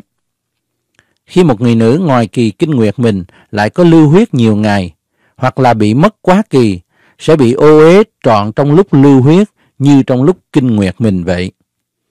Trong trọn lúc lưu huyết, bất kỳ giường nào người nằm trên sẽ như cái giường của kỳ kinh nguyệt, và mọi vật nào người ngồi trên đều sẽ bị ô uế như trong kỳ kinh nguyệt vậy. Ai đụng đến các vật đó sẽ bị ô uế, phải giặt quần áo mình tắm trong nước và bị ô uế đến chiều tối.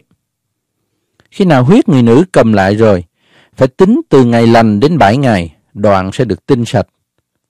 Qua ngày thứ tám người bắt hai con chim cu hoặc hai con bò câu con đem đến thầy tế lễ tại cửa hội mạc. Thầy tế lễ phải dâng con này làm của lễ chuộc tội và con kia làm của lễ thiêu. Vậy, thầy tế lễ vì cớ sự lưu huyết ô uế người sẽ làm lễ chuộc tội cho người trước mặt Đức Giê-hô-va.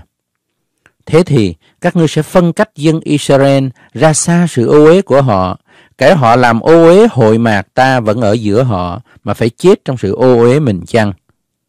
Đó là luật lệ về người nào bị bệnh bạch trượt, hay là vì cớ di tinh bị ô uế, về người nữ có kỳ kinh nguyệt, về mọi người hoặc nam hay nữ bị bạch trượt, và về người nam giao cấu cùng người nữ trong khi kinh nguyệt. Chương 16 Sau khi hai con trai của Aaron chết trong lúc đến gần trước mặt Đức Giê-hô-va, thì Ngài phán cùng Môi-se mà rằng, Hãy nói cùng Aaron anh ngươi, chớ và luôn luôn trong nơi thánh ở phía trong bức màn, trước nắp thi ân trên hòm bản chứng, e người phải chết chăng? Vì ta ở trong mây hiện ra trên nắp thi ân. Này, Aaron sẽ vào nơi thánh như vậy. Người phải bắt một con bò đực tơ dùng làm của lễ chuộc tội và một con chiên đực dùng làm của lễ thiêu.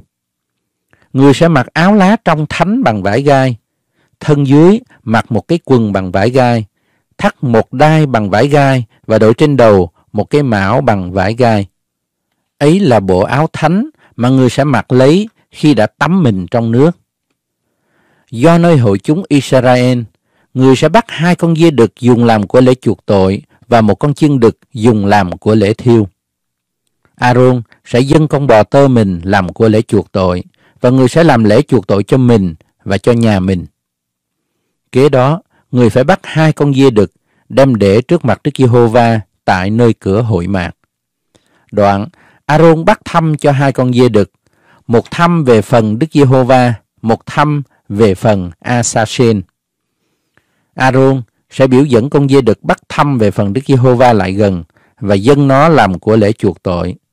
Còn con bắt thăm về phần Asasen sẽ để sống trước mặt Đức Giê-hô-va để làm lễ chuộc tội trên nó, rồi thả nó ra nơi đồng vắng, đặng nó về Asasen. Vậy, Aaron sẽ dâng con bò tơ mình là con sinh tế chuộc tội, giết nó làm lễ chuộc tội cho mình và cho nhà mình. Đoạn, lấy lư hương đầy than hực đỏ trên bàn thờ trước mặt Đức Giê-hô-va và một vốc hương bột mà đem vào phía trong bức màn. Người phải bỏ hương trên lửa trước mặt Đức Giê-hô-va, hầu cho ngọn khói hương bao phủ nắp thi ân ở trên hòm bản chứng, thì người không chết. Người cũng phải lấy huyết con bò tơ đó, dùng ngón tay rải trên nắp thi ân về phía đông và rải bảy lần về phía trước nắp thi ân. Đoạn, người giết con dê đực dùng về dân chúng làm của lễ chuộc tội, đem huyết nó vào phía trong bức màn, dùng huyết con dê đực đó cũng như đã dùng huyết con bò tơ, tức là rải trên nắp thi ân và trước nắp thi ân vậy. Người vì cớ sự ô uế, sự vi phạm và tội lỗi của dân Israel phải làm lễ chuộc tội cho nơi thánh và cho hội mạc ở giữa sự ô uế của họ. Khi thầy tế lễ vào, đặng làm lễ chuộc tội nơi thánh cho đến khi người ra, thì chẳng nên có ai ở tại hội mạc. Vậy, người sẽ làm lễ chuộc tội cho mình, cho nhà mình và cho cả hội chúng Israel. Đoạn, người ra, đi đến bàn thờ ở trước mặt Đức Giê-hô-va, đặng làm lễ chuộc tội cho bàn thờ.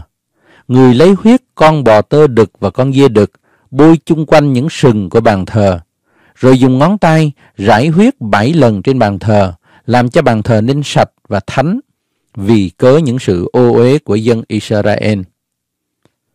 Khi thầy tế lễ đã làm lễ chuộc tội cho nơi thánh, cho hội mạc và cho bàn thờ rồi, thì người phải dâng con dê đực còn sống kia.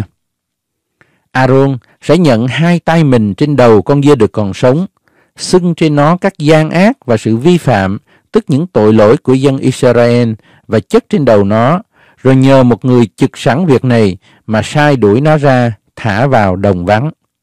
Vậy, con dê đực đó sẽ gánh trên mình các tội ác của dân Israel ra nơi hoang địa. Aaron sẽ trở vào hội mạc, cởi bộ áo bằng vải gai mình đã mặc đặng vào nơi thánh và để tại đó. Rồi lấy nước tắm mình trong một nơi thánh, mặc áo lại, đi ra, dân của lễ thiêu về phần mình và của lễ thiêu về phần dân chúng, đặng làm lễ chuộc tội cho mình và cho dân chúng. Người cũng phải lấy mỡ của con sinh tế chuộc tội mà xông trên bàn thờ. Người nào dẫn con dê đực về phần Asasen phải giặt quần áo mình, tắm trong nước, đoạn mới sẽ được vào trại quân. Nhưng người ta phải đem ra ngoài trại quân con bò tơ đực và con dê đực đã dâng lên làm của lễ chuộc tội mà huyết nó đã đem vào trong nơi thánh đặng làm lễ chuộc tội. Rồi phải lấy da, thịt và phẫn của hai thú đó mà đốt trong lửa. Kẻ nào đứng đốt phải giặt quần áo mình, tắm mình trong nước, đoạn mới được vào trại quân. Điều này sẽ là một lễ định đời đời cho các ngươi.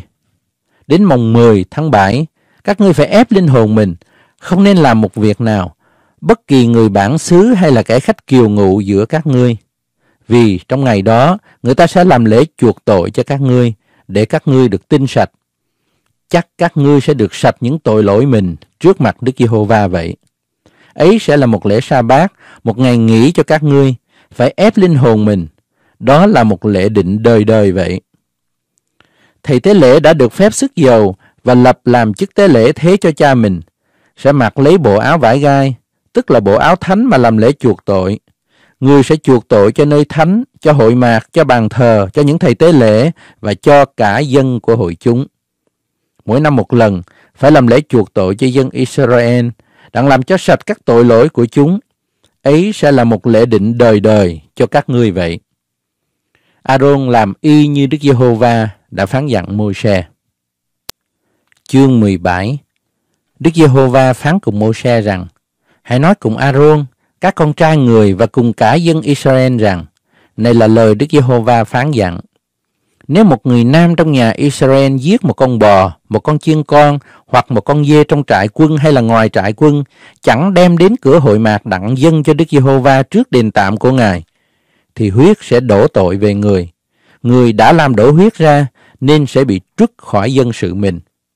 Ấy, hầu cho dân Israel lấy của lễ mình giết ngoài đồng, dẫn đến thầy tế lễ trước mặt Đức Giê-hô-va tại cửa hội mạc, đặng dâng lên làm của lễ thù ân cho Đức Giê-hô-va. Thầy tế lễ sẽ rưới huyết con sinh trên bàn thờ của Đức Giê-hô-va để tại cửa hội mạc, và sông mỡ có mùi thơm cho Đức Giê-hô-va. Dân Israel cũng chẳng nên dâng của lễ mình cho ma quỷ nữa, mà thông dâm cùng nó. Điều này sẽ là một lễ định đời đời cho họ trải qua các thế đại. Vậy, ngươi hãy nói cùng dân Israel rằng, phàm người nào trong vòng dân Israel hay là kẻ khách kiều ngụ giữa họ, dân một của lễ thiêu hay là một của lễ chi mà chẳng đem đến tại cửa hội mạc đặng dân cho Đức Giê-hô-va, thì người đó sẽ bị trút khỏi dân sự mình.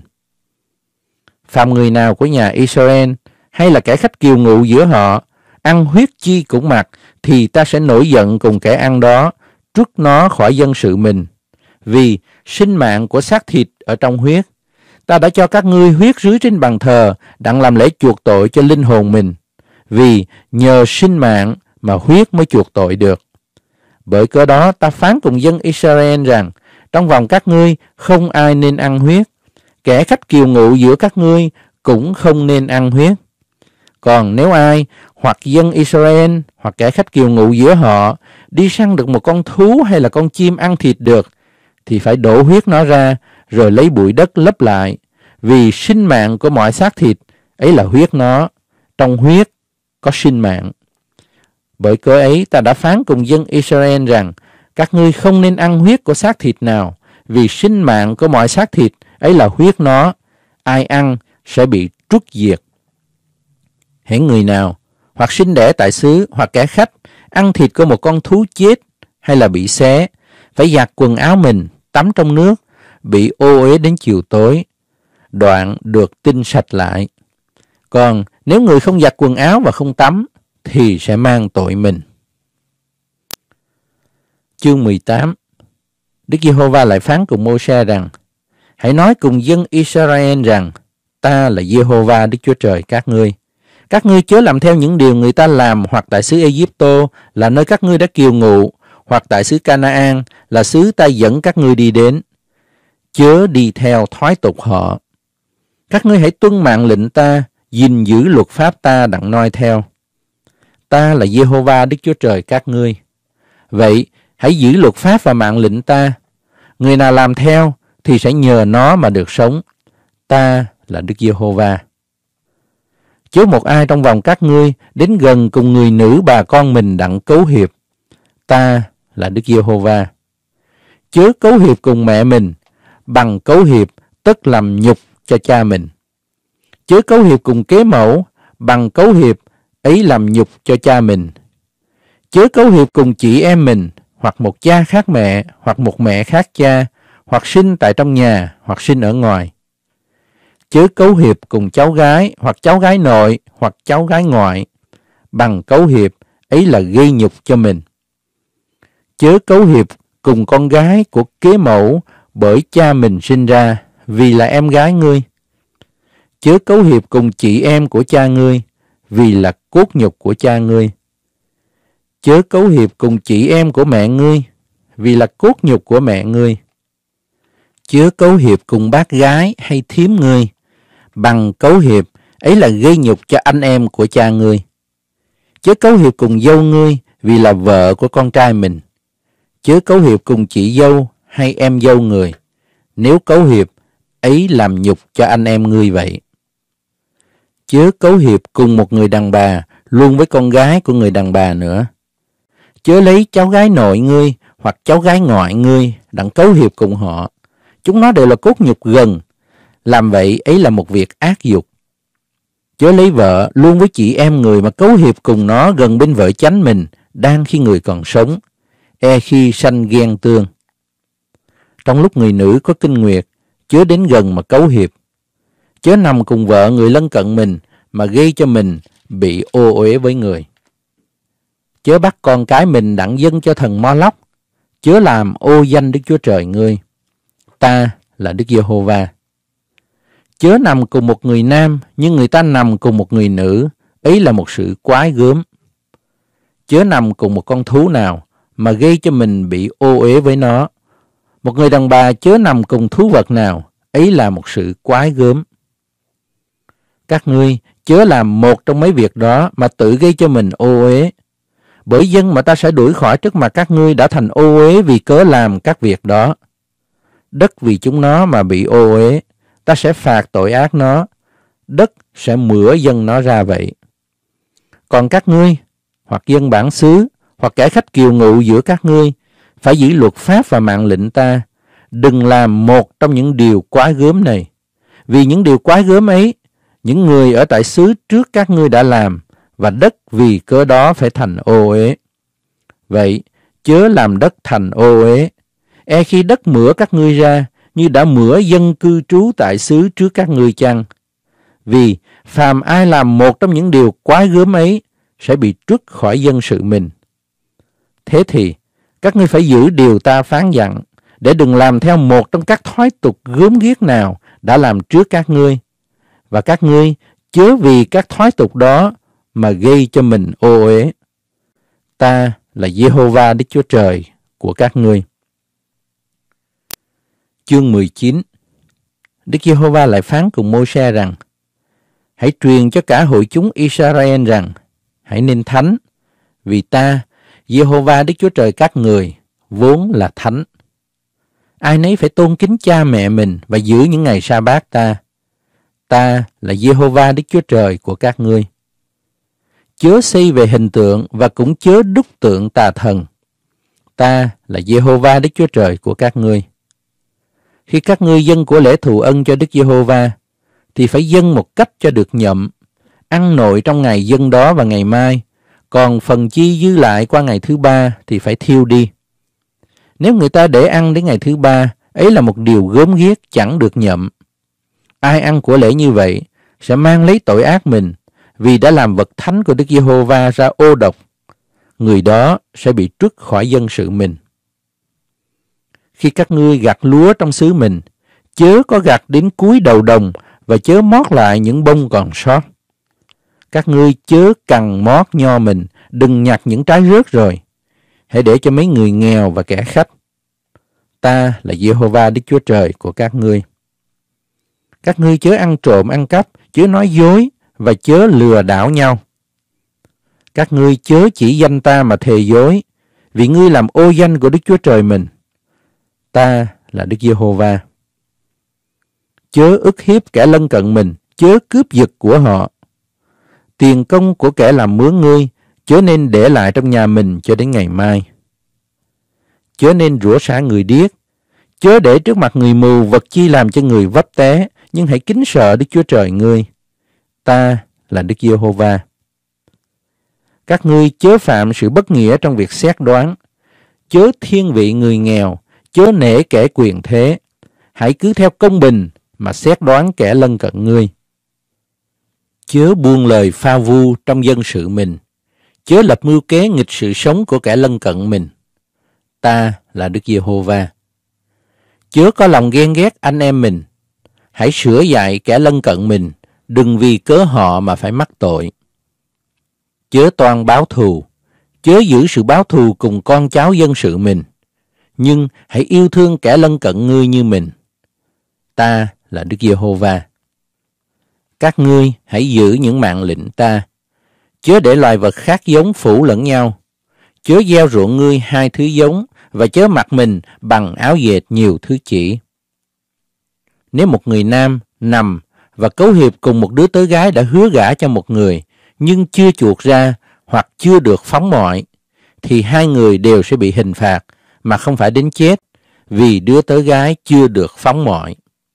Người nam vì lỗi mình sẽ dẫn một con chiên đực đến trước mặt Đức Giê-hô-va tại cửa hội mạc mà làm của lễ chuộc sự mắc lỗi. Thầy tế lễ sẽ dùng con chiên đực làm của lễ chuộc sự mắc lỗi, đặng làm lễ chuộc tội cho người đã phạm trước mặt Đức Giê-hô-va. Vậy tội người đã phạm sẽ được tha. Khi các ngươi sẽ vào xứ Canaan và đã trồng các thứ cây trái rồi, hãy coi các trái chiến nó không sạch như chưa chịu phép cắt bì. Trong ba năm, các ngươi hãy coi nó không sạch, chớ nên ăn. Nhưng qua năm thứ tư, các trái nó sẽ nên thánh làm của lễ khen ngợi Đức Giê-hô-va. Qua năm thứ năm, các ngươi phải ăn trái, hầu cho cây thêm hoa quả. Ta là Giê-hô-va Đức Chúa Trời của các ngươi. Các ngươi chớ ăn vật chi có huyết, chớ dùng bói khoa, chớ làm thuật số. Chớ cắt mé tóc mình cho tròn và chớ nên phá khóe râu mình. Chớ vì kẻ chết mà cắt thịt mình, chớ xăm vẽ trên mình. Ta là Đức Giê-hô-va. Chớ nhục con gái ngươi khiến nó làm kỵ nữ, để trong xứ không có điều dâm loạn và đầy dẫy những ác dục. Các ngươi phải giữ những sa bát ta và tôn kính nơi thánh ta. Ta là Đức Giê-hô-va. Các ngươi chớ cầu đồng cốt hay là thầy bói. Chớ hỏi chúng nó, e vì chúng nó mà các ngươi phải bị ô uế. Ta là Jehovah Đức Chúa Trời của các ngươi. Trước mặt người tóc bạc, ngươi hãy đứng dậy, kính người già cả và kính sợ Đức Chúa Trời ngươi. Ta là Đức Giê-hô-va. Khi kẻ khách nào kiều ngụ trong xứ các ngươi, thì chớ hà hiếp người. Kẻ khách kiều ngụ giữa các ngươi sẽ kể như kẻ đã sanh đẻ giữa các ngươi. Hãy thương yêu người như mình, vì các ngươi đã làm khách kiều ngụ trong xứ Egypto. Ta là Jehovah Đức Chúa Trời của các ngươi. Các ngươi chớ phạm sự bất nghĩa trong việc xét đoán hoặc sự đo, sự cân hay là sự lường. Các ngươi phải có cân thiệt, trái cân bằng đá đúng, một ê-pha thiệt và một hin thiệt. Ta là Jehovah Đức Chúa Trời của các ngươi, đấng đã dẫn các ngươi ra khỏi xứ Egypto. Vậy, các ngươi hãy gìn giữ làm theo các luật pháp và các mạng lệnh ta. Ta là Đức Giê-hô-va. Chương 20 Đức Giê-hô-va phán cùng Mô-se rằng, Ngươi hãy nói cùng dân Israel rằng, phàm ai trong dân Israel hay là kẻ khách kiều ngụ giữa vòng họ, dùng một trong các con mình dân cho thần Mo Lóc, thì chắc sẽ bị xử tử. Dân bản xứ phải ném đá người ấy. Còn ta sẽ nổi giận cùng người đó, rút nó khỏi dân sự mình, vì nó đã nộp con cái mình cho thần Mo Lóc, làm cho nơi thánh ta ô uế và làm ô danh thánh ta. Nếu dân bản xứ nhắm mắt khi người đó dân một trong các con cái nó cho thần Mo Lóc mà chẳng giết nó đi, thì ta đây sẽ nổi giận cùng người đó và nhà nó, rồi trước nó cùng những kẻ nào theo nó mà thông dâm cùng thần Mo Lóc ra khỏi dân sự mình. Nếu ai si về đồng cốt và thầy bói mà thông dâm cùng chúng nó, thì ta sẽ nổi giận cùng người đó trút nó ra khỏi dân sự mình. Các ngươi hãy làm sạch mình và hãy nên thánh, vì ta là Jehovah, Đức Chúa Trời của các ngươi. Các ngươi hãy giữ làm theo những luật pháp ta. Ta là Đức Giê-hô-va, đấng làm cho các ngươi nên thánh. Khi một người nào chửi cha, mắng mẹ mình, thì phải bị xử tử. Nó đã chửi rủa cha mẹ, huyết nó sẽ đổ lại trên mình nó. Nếu người nào phạm tội tà dâm cùng vợ của người khác, hay là phạm tội tà dâm cùng vợ người lân cận mình, người nam cùng người nữ đó đều phải bị xử tử. Nếu người nào nằm cùng vợ cha mình, ấy là gây nhục cho cha mình, thì hai người đều hẳn phải bị xử tử. Huyết họ sẽ đổ lại trên mình họ. Nếu người nào nằm cùng dâu mình, hai người đều hẳn phải bị phạt xử tử vì họ đã phạm một sự gớm ghiếc. Huyết họ sẽ đổ lại trên mình họ. Nếu một người nam nằm cùng một người nam khác như nằm cùng người nữ, thì hai người đó đều hẳn phải bị xử tử, vì họ đã làm một sự gớm ghiếc, huyết họ sẽ đổ lại trên mình họ. Nếu một người nam lấy cả mẹ và con làm vợ, ấy là một sự tà ác. Hãy thiêu cả ba đi, hầu cho sự tà ác đó không còn trong vòng các ngươi. Nếu một người nam cấu hiệp cùng thú vật, thì hẳn phải bị xử tử, và các ngươi hãy giết thú đó đi. Nếu một người nữ lại gần một con thú đặng cấu hiệp cùng nó, ngươi hãy giết người nữ và con thú đó đi. Huyết nó sẽ đổ lại trên mình nó. Nếu một người nam lấy chị em gái mình, hoặc một cha khác mẹ, hoặc một mẹ khác cha, và họ cấu hiệp nhau, ấy là sự điếm nhục. Họ sẽ bị trút khỏi trước mặt dân sự mình. Người đã gây nhục cho chị em mình, người sẽ mang tội ác mình. Nếu một người nam nằm cùng một người nữ trong lúc có kinh nguyệt, và người nam lộ ra nguyên huyết của người nữ, và chính người nữ cũng lộ ra nguyên huyết mình, thì cả hai đều sẽ bị trút khỏi dân sự mình. Chớ cấu hiệp cùng chị em của mẹ hay là chị em của cha ngươi vì là gây nhục cho thân tộc mình. Hai người đều sẽ mang tội ác mình. Nếu người nam nằm cùng bác gái hay thím mình, tức là gây nhục cho chú bác mình, hai người đều sẽ mang sự hình phạt của tội mình. Họ sẽ chết tuyệt tự. Nếu một người nam lấy vợ của anh em mình, ấy là sự ô uế, người đó đã gây nhục cho anh em mình, hai người đó sẽ tuyệt tự. Các ngươi hãy gìn giữ, làm theo những luật pháp và mạng lệnh ta, hầu cho xứ mà ta dẫn các ngươi đến ở, không mửa các ngươi ra. Chớ nên noi theo thói tục của dân mà ta sẽ đuổi ra khỏi trước mặt các ngươi, vì họ đã làm những điều đó và ta lấy làm gớm ghiếc lắm. Ta đã phán cùng các ngươi rằng, ấy là các ngươi sẽ được xứ của dân đó. Ta cho các ngươi xứ ấy đặng làm sản nghiệp, ấy là một xứ đượm sữa và mật. Ta là Jehovah Đức Chúa Trời của các ngươi, đã phân rẽ các ngươi cùng các dân. Vậy, hãy phân biệt thú tinh sạch với thú ô uế, chim ô uế với chim tinh sạch. Chớ gây cho mình ra gớm ghiếc vì loại vật, vì chim chóc, vì các loài côn trùng trên mặt đất mà ta đã dạy các ngươi phân biệt như loài ô uế. Đối cùng ta, các ngươi hãy nên thánh, vì ta, Đức Giê-hô-va là thánh. Ta đã phân rẽ các ngươi với các dân, để các ngươi thuộc về ta. Khi nào một người nam hay nữ làm đồng cốt hay là bói khoa thì hẳn sẽ bị xử tử. Người ta sẽ ném đá chúng nó. Huyết chúng nó sẽ đổ lại trên mình chúng nó. Chương 21 Đức Giê-hô-va lại phán cùng Mô-se rằng Hãy nói cùng những thầy tế lễ là các con trai A-rôn mà rằng Thầy tế lễ chớ vì một người chết trong dân sự mà làm cho mình ra ô uế trừ ra vì bà con thân thích mình, vì mẹ, cha, con trai, con gái, anh em mình, và vì chị em ruột mình còn đồng trinh chưa chồng, thì người được vì chị em đó làm cho mình ra ô uế. Người là đầu trưởng trong dân sự mình, chớ làm mình ra tục mà bị ô uế. Các thầy tế lễ chớ nên làm sói trên đầu, chớ cạo mép râu mình, đừng cắt thịt mình. Họ sẽ biệt riêng ra thánh cho Đức Chúa Trời mình và chớ làm ô danh Ngài vì họ dâng cho Đức Giê-hô-va các của lễ dùng lửa thiêu, tức là thực vật của Đức Chúa Trời mình. Họ phải nên thánh. Thầy tế lễ chớ nên cưới một người kỳ nữ hay là kẻ dâm ô, cũng chẳng nên cưới người bị chồng để, vì thầy tế lễ đã biệt riêng ra thánh cho Đức Chúa Trời mình.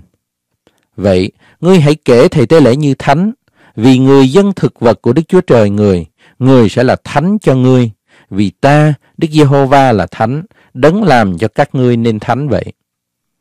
Nếu con gái thì tế lễ đi dâm ô tự làm nên kỵ nữ, ấy là làm ô danh cho cha nó, nó phải bị thiêu lửa. Thầy tế lễ được quyền trọng hơn các anh em mình, đã được rưới dầu sức trên đầu mình, được biệt riêng ra thánh, để mặc mình bằng bộ áo thánh, chẳng nên để đầu trần và xé áo mình. Người chớ đi đến cùng một kẻ chết, chớ vì cha hay mẹ mà làm mình ra ô uế. Người chẳng nên đi ra khỏi nơi thánh, đừng làm cho nơi thánh của Đức Chúa Trời mình ra ô uế, vì cái mão dầu sức của Đức Chúa Trời vẫn ở trên đầu người. Ta là Đức Giê-hô-va. Người phải cưới gái đồng trinh làm vợ. Người chẳng nên cưới đàn bà quá, bị để, dâm ô hay là kỳ nữ, nhưng phải cưới một người đồng trinh trong vòng dân sự mình. Người chẳng nên làm ô danh dòng họ mình giữa dân sự người, vì ta là Đức Giê-hô-va làm cho người nên thánh. Đức Giê-hô-va còn phán cùng Mô-se rằng, hãy nói cùng A-rôn mà rằng, phàm ai trong dòng họ ngươi trải các đời có một tật bệnh trong thân thể, chớ đến gần mà dân thực vật cho Đức Chúa Trời mình. Phàm ai có một tật không được đến gần như đây, người mù, què, sẹp mũi hay là tứ chi không đều, người gãy chân hay gãy tay, người có bướu hay là lỏng khổng, có vảy cá mắt hay là có ghẻ chốc, có lát hay là có hòn nan dập. Phàm con cháu thầy tế lễ Aaron có tật trong mình, không được đến gần dân của lễ dùng lửa dâng lên cho Đức Giê-hô-va. Nếu có một tật trong mình, không được đến gần dân thực vật cho Đức Chúa Trời mình. Người được ăn thực vật của Đức Chúa Trời mình là các vật chí thánh và các vật biệt riêng ra thánh, nhưng không được đi đến bức màn và cũng không được đi đến gần bàn thờ vì có tật nơi mình. Người chớ làm các nơi thánh ta ra ô uế vì ta Đức Giê-hô-va làm các nơi đó nên thánh. Môi-se nói như vậy cho A-rôn và các con trai người cùng cho cả dân Israel. Chương 22 Đức Giê-hô-va lại phán cùng Môi-se rằng Hãy truyền cho A-rôn và các con trai người rằng phải kiên cử những của lễ thánh của dân Israel, dân biệt riêng ra thánh cho ta, hầu cho chúng chớ làm ô danh thánh ta. Ta là Đức Giê-hô-va. Hãy nói với họ rằng, phàm ai trong dòng giống các ngươi và trong vòng con cháu các ngươi đã bị ô uế, đến gần các vật thánh mà dân Israel biệt riêng ra cho Đức Giê-hô-va, thì ai đó sẽ bị trút khỏi trước mặt ta. Ta là Đức Giê-hô-va. Phàm ai là con cháu của Aaron bị bệnh phung hay là bạch trượt thì chẳng được ăn vật biệt riêng ra thánh cho đến chừng nào được tinh sạch. Ai đụng đến một người đã bị ô uế bởi xác chết, ai có di tinh hay là ai đụng đến hoặc loài côn trùng hoặc một người bị sự ô uế nào làm cho mình ô uế thì cũng phải một thể ấy. Ai đụng đến các vật đó sẽ bị ô uế đến chiều tối, không được ăn vật biệt riêng ra thánh, nhưng phải tắm mình trong nước. Sau khi mặt trời lặn, người sẽ được sạch lại, rồi mới được phép ăn các vật thánh, vì là đồ ăn của người. Người chẳng nên ăn một con thú nào chết tự nhiên hay là bị xé, hầu khỏi bị ô uế. Ta là Đức Giê-hô-va. Vậy, họ phải giữ điều ta phán dặn kéo mang tội lỗi và chết chăng, vì đã làm các vật thánh này ra ô uế ta là Đức Giê-hô-va làm cho họ nên thánh. Chẳng một kẻ khách ngoại bang nào được ăn vật thánh. Kẻ nào ở tại nhà thầy tế lễ hay là người làm mướn cũng chẳng được ăn vật thánh. Nhưng kẻ nào thầy tế lễ lấy bạc mua về và kẻ sanh đẻ tại nhà người thì được phép ăn đồ ăn của người. Nếu con gái của thầy tế lễ kết thân cùng kẻ khách ngoại bang thì sẽ không được ăn vật thánh dân dơ lên. Còn nếu con gái của thầy tế lễ đã quá hay là bị để không có con, trở về nhà cha ở như buổi còn thơ, thì nàng sẽ được ăn đồ ăn của cha mình, nhưng chẳng kẻ khách ngoại bang nào nên ăn. Nếu ai lầm ăn một vật thánh, thì phải đền lại cho thầy tế lễ giá của vật thánh đó và phụ thêm một phần năm thầy tế lễ chớ làm ô uế của lễ mà dân Israel dâng dơ lên cho Đức Giê-hô-va. Ai ăn vật thánh đã dâng như vậy sẽ mang tội mình đã phạm, vì ta là Đức Giê-hô-va làm cho các vật đó nên thánh. Đức Giê-hô-va lại phán cùng Mô-se rằng, hãy truyền cho A-rôn và các con trai người, cùng cho cả dân Israel mà rằng, hãy người nhà Israel hay là kẻ khách kiều ngụ giữa họ, mà dân của lễ thiêu cho Đức Giê-hô-va, hoặc của lễ khấn nguyện hay là của lễ lạc ý hầu cho được nhậm. Phải dân một con đực không tỳ vít chi bắt trong bầy bò, hoặc chiên con hay là dê cái. Các ngươi chớ dân một con vật nào có tỳ vít, vì nó sẽ không được nhậm. Khi một người nào dân cho Đức Giê-hô-va một của lễ thù ân bằng bò hay chiên, hoặc dân trả lễ khấn nguyện hay là lạc ý, hầu cho con sinh được nhậm, phải không có một tỳ vít chi trên mình. Các ngươi chớ dân cho Đức Giê-hô-va một con thú nào hoặc mù mắt, què cẳng, bị xé, ghẻ, chốc hay là lát. Các ngươi chớ bắt nó làm của lễ dùng lửa dâng lên cho Đức Giê-hô-va trên bàn thờ. Các ngươi được bắt một con bò, hay chiên con có giò dài quá hoặc ngắn quá mà làm của lễ lạc ý. Nhưng về của lễ khấn nguyện, con thú như vậy quả sẽ chẳng được nhậm. Các ngươi chớ dâng cho Đức Giê-hô-va tại xứ mình một con thú nào hòn nang bị dập nát, rứt hay là thiến đi. Chớ nhận nơi tay kẻ khách ngoại bang một con sinh nào bị như vậy, đặng dân làm thực vật cho Đức Chúa Trời mình, vì nó đã bị hư và có tỳ vít trên mình, không được nhậm vì các ngươi đâu. Đức Giê-hô-va lại phán cùng Môi-se rằng, hễ con bò con, con chiên con hay con dê con, phải ở quẩn theo mẹ trong bảy ngày sau khi lọt lòng. Nhưng qua ngày thứ tám về sau sẽ được nhậm làm của lễ dùng lửa dân cho Đức Giê-hô-va. Bất kỳ bò cái hay chiên cái, các ngươi chớ giết nó và con nó trong một ngày. Khi các ngươi dân của lễ thù ân cho Đức Giê-hô-va, thì phải dân thế nào cho của lễ vì các ngươi được nhậm. Của lễ đó phải ăn nội ngày, không nên để chi lại cho đến sớm mai. Ta là Đức Giê-hô-va. Vậy, hãy giữ làm theo các điều răn ta. Ta là Đức Giê-hô-va. Đừng làm ô danh thánh ta, thì ta sẽ được tôn thánh giữa dân Israel.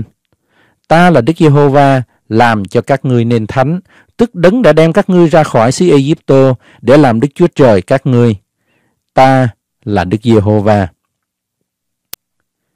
Chương 23 Đức Giê-hô-va lại phán cùng Môi-se rằng, Hãy truyền cho dân Israel rằng, này là những ngày lễ của Đức Giê-hô-va, các ngươi hãy rao truyền ra là các hội thánh. Người ta làm việc trong sáu ngày, nhưng qua ngày thứ bảy là ngày sa bát, một ngày nghỉ, tức một sự nhóm hiệp thánh. Đừng làm một công việc gì.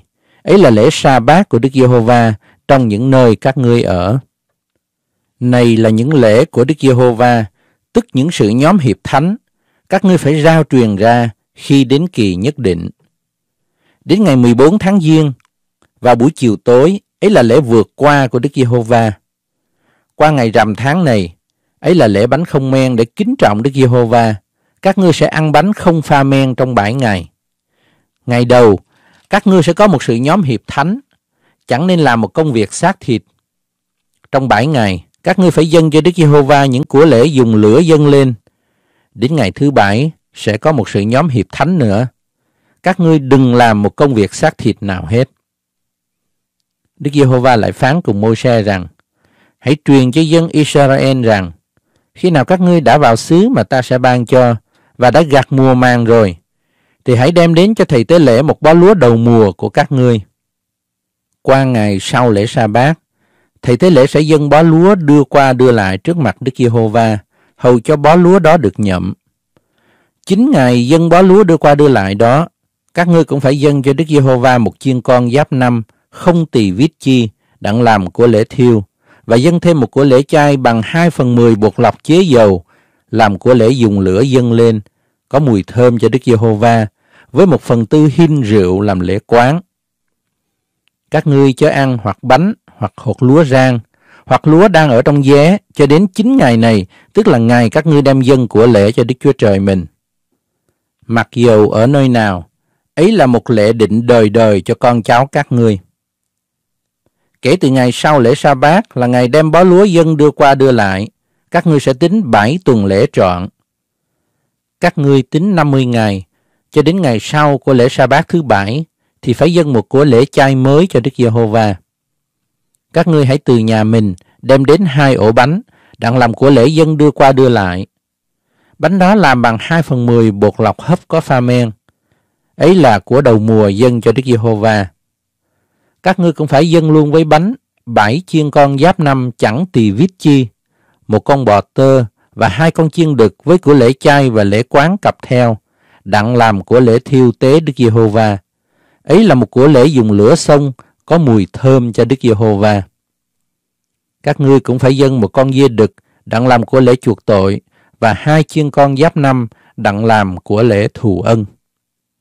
Thầy tế lễ sẽ lấy các của lễ đó với hai ổ bánh bằng lúa đầu mùa và hai chiên con, dân đưa qua đưa lại trước mặt Đức Giê-hô-va. Các vật đó sẽ biệt riêng ra thánh cho Đức Giê-hô-va và thuộc về thầy tế lễ. Các ngươi hãy giao truyền sự nhóm hiệp trong chính một ngày đó. Phải có một sự nhóm hiệp thánh, chớ nên làm một công việc xác thịt nào. Ấy là một lệ định đời đời cho dòng dõi các ngươi, mặc dầu ở nơi nào. Khi các ngươi gặt lúa trong xứ mình, chớ gặt tận đầu đồng và chớ mót lúa sót lại. Hãy để phần đó cho người nghèo và cho kẻ khách ngoại bang. Ta là Jehovah Đức Chúa Trời của các ngươi. Đức Giê-hô-va lại phán cùng Môi-se rằng, hãy truyền cho dân Israel rằng, ngày mùng 1 tháng 7 sẽ có cho các ngươi một ngày nghỉ, một lễ kỷ niệm lấy tiếng kèn thổi mà rao truyền, tức là một sự nhóm hiệp thánh vậy. Chớ làm một công việc xác thịt nào, phải dâng các của lễ dùng lửa dâng cho Đức Giê-hô-va. Đức Giê-hô-va cũng phán cùng Mô-se rằng, ngày mùng 10 tháng 7 này là ngày lễ chuộc tội. Các ngươi sẽ có sự nhóm hiệp thánh. Hãy ép tâm hồn mình và dâng cho Đức Giê-hô-va các của lễ dùng lửa dâng lên. Ngày đó chẳng nên làm công việc nào, vì là ngày chuộc tội. Trong ngày đó phải làm lễ chuộc tội cho các ngươi trước mặt Giê-hô-va Đức Chúa Trời mình. Trong ngày đó, hễ ai không ép tâm hồn mình sẽ bị trút khỏi dân sự mình, và hễ ai làm một công việc gì thì ta sẽ diệt họ khỏi dân sự mình. Các ngươi chẳng nên làm công việc chi hết. Ấy là một lệ định đời đời cho dòng dõi các ngươi, mặc dầu ở nơi nào. Ấy sẽ là một lễ sa bát, một ngày nghỉ cho các ngươi. Các ngươi phải ép tâm hồn mình. Ngày mồng 9 tháng đó, các ngươi phải giữ lễ sa bát mình từ chiều nay đến chiều mai. Đức Giê-hô-va lại phán cùng Môi-se rằng, hãy truyền cho dân Israel rằng, ngày rằm tháng 7 này là lễ lều tạm, trải qua 7 ngày đặng tôn kính Đức Giê-hô-va. Ngày thứ nhất sẽ có sự nhóm hiệp thánh, các ngươi chẳng nên làm một công việc xác thịt nào. Trong 7 ngày, phải dâng các của lễ dùng lửa dâng cho Đức Giê-hô-va. Qua ngày thứ 8, các ngươi có một sự nhóm hiệp thánh nữa, cùng dân của lễ dùng lửa dâng cho Đức Giê-hô-va. Ấy sẽ là một hội trọng thể, chớ nên làm một công việc xác thịt nào hết. Đó là những lễ trọng thể của Đức Giê-hô-va mà các ngươi phải rao truyền là sự nhóm hiệp thánh, đặng dâng cho Đức Giê-hô-va những của lễ dùng lửa dâng lên, của lễ thiêu, của lễ chay, của lễ thù ân, lễ quán, vật nào đã định theo ngày nấy. Ngoài ra, các ngươi phải cứ giữ lễ sa bát của Đức Giê-hô-va, cứ dâng cho Ngài các lễ vật mình, các của lễ khấn nguyện và lạc ý. Nhưng đến ngày rằm tháng 7, khi các ngươi đã thâu hoạch thổ sản mình rồi, hãy giữ một lễ cho Đức Giê-hô-va trong bảy ngày. Bữa thứ nhất sẽ là ngày nghỉ và bữa thứ tám cũng sẽ là ngày nghỉ. Bữa thứ nhất, các ngươi phải lấy trái cây tốt, tàu chà là, nhành cây rậm và cây dương liễu, rồi vui mừng trong bảy ngày trước mặt Giê-hô-va Đức Chúa Trời của các ngươi. Mỗi năm vào tháng 7, các ngươi phải giữ lễ này cho Đức Giê-hô-va như vậy trong bảy ngày. Ấy là một lễ định đời đời cho dòng dõi các ngươi hết thảy ai sanh trong dòng Israel sẽ ở nơi trại trong bảy ngày, hầu cho dòng dõi các ngươi biết rằng, khi ta đem dân Israel ra khỏi xứ Egypto, ta cho họ ở trong những trại. Ta là Jehovah, Đức Chúa Trời của các ngươi. Ấy vậy, môi se truyền cho dân Israel biết các lễ của Đức Giê-hô-va là lễ nào. Chương 24 Đức Giê-hô-va phán cùng Mô-se rằng, hãy truyền cho dân Israel đem dầu olive ép, trong sạch, đặng thắp đèn, để giữ cho đèn cháy luôn luôn. Aaron sẽ làm đèn đó trong hội mạc, ngoài bức màn che hòm bản chứng, hầu cho đèn cháy luôn luôn, từ chiều tối đến sáng mai trước mặt Đức Giê-hô-va. Ấy là một lệ định đời đời cho dòng dõi các ngươi. Aaron sẽ để các đèn trên chân đèn bằng vàng, cho đèn cháy luôn luôn trước mặt Đức Giê-hô-va. Ngươi cũng phải lấy bột lọc, hấp 12 ổ bánh, mỗi ổ cân nặng 2 phần 10 epha, đoạn sắp ra hai hàng sáu ổ trên cái bàn bằng vàng ròng trước mặt Đức Giê-hô-va, cùng rắc nhũ hương thánh trên mỗi hàng để làm kỷ niệm trên bánh như một của lễ dùng lửa dâng trước mặt Đức Giê-hô-va. Mỗi ngày sa bát người ta sẽ sắp bánh này trước mặt Đức Giê-hô-va luôn luôn do nơi dân Israel cung cấp. Ấy là một giao ước đời đời. Có một đứa con trai, mẹ là người Israel và cha là người Egypto, đi ra giữa vòng dân Israel đánh lộn tại nơi trại quân với một người Israel. Đứa trai đó nói phạm đến và rủa xả danh Đức Giê-hô-va. Người ta dẫn nó đến Môi-se, bèn giam nó vào ngục cho đến chừng Đức Giê-hô-va phán định phải xử làm sao. Mẹ nó tên là Shelomit, con gái của Dipri, thuộc về chi phái Đan. Và Đức Giê-hô-va bèn phán cùng Môi-se rằng, hãy đem kẻ đã rủa xả ra ngoài trại quân. Hết thảy ai đã có nghe nó phải đặt tay mình trên đầu nó và cả hội chúng phải ném đá nó. Đoạn hãy nói cùng dân Israel rằng, người nào rủa xả Đức Chúa Trời mình sẽ mang sự hình phạt của tội mình. Ai nói phạm đến danh Đức Giê-hô-va hẳn sẽ bị xử tử, cả hội chúng sẽ ném đá nó. Mặc dù nó là kẻ khách ngoại bang hay là sanh trong xứ, hãy khi nào nói phạm đến danh Đức Giê-hô-va thì sẽ bị xử tử. Kẻ nào đánh chết một người nào, mặc dầu kẻ đó là ai sẽ bị xử tử. Kẻ nào đánh chết một súc vật phải thường lại, nghĩa là mạng đền mạng. Khi một người nào làm thương tích cho kẻ lân cận mình, thì người ta phải làm thương tích cho người đó lại như chính người đã làm. Gãi đền gãi, mắt đền mắt, răng đền răng. Người ta sẽ làm cho người ấy đồng một thương vít như chính người đã làm cho người khác. Kẻ nào làm chết một súc vật thì sẽ thường lại, còn kẻ nào giết chết một người thì phải bị xử tử. Bất luận kẻ khách ngoại bang hay là người trong xứ, các ngươi cũng phải dùng một luật lệ, vì ta là Jehovah Đức Chúa Trời của các ngươi. Vậy, Môi-se nói lại cùng dân Israel, biểu đem kẻ đã rủa xả ra khỏi trại quân rồi ném đá nó. Thế thì, dân Israel làm y như lời Đức Giê-hô-va đã truyền dặn Môi-se. Chương 25 Đức Giê-hô-va cũng phán cùng Môi-se tại trên núi Sinai rằng, Hãy truyền cho dân Israel rằng, khi các ngươi đã vào xứ ta sẽ ban cho rồi, thì đất phải nghỉ, giữ một lễ sa bát cho Đức Giê-hô-va. Trong sáu năm, ngươi sẽ gieo ruộng và hớt nho mình, cùng thu hoạch thổ sản. Nhưng năm thứ bảy sẽ là năm sa bát, để cho đất nghỉ, tức là một năm sa bát cho Đức Giê-hô-va.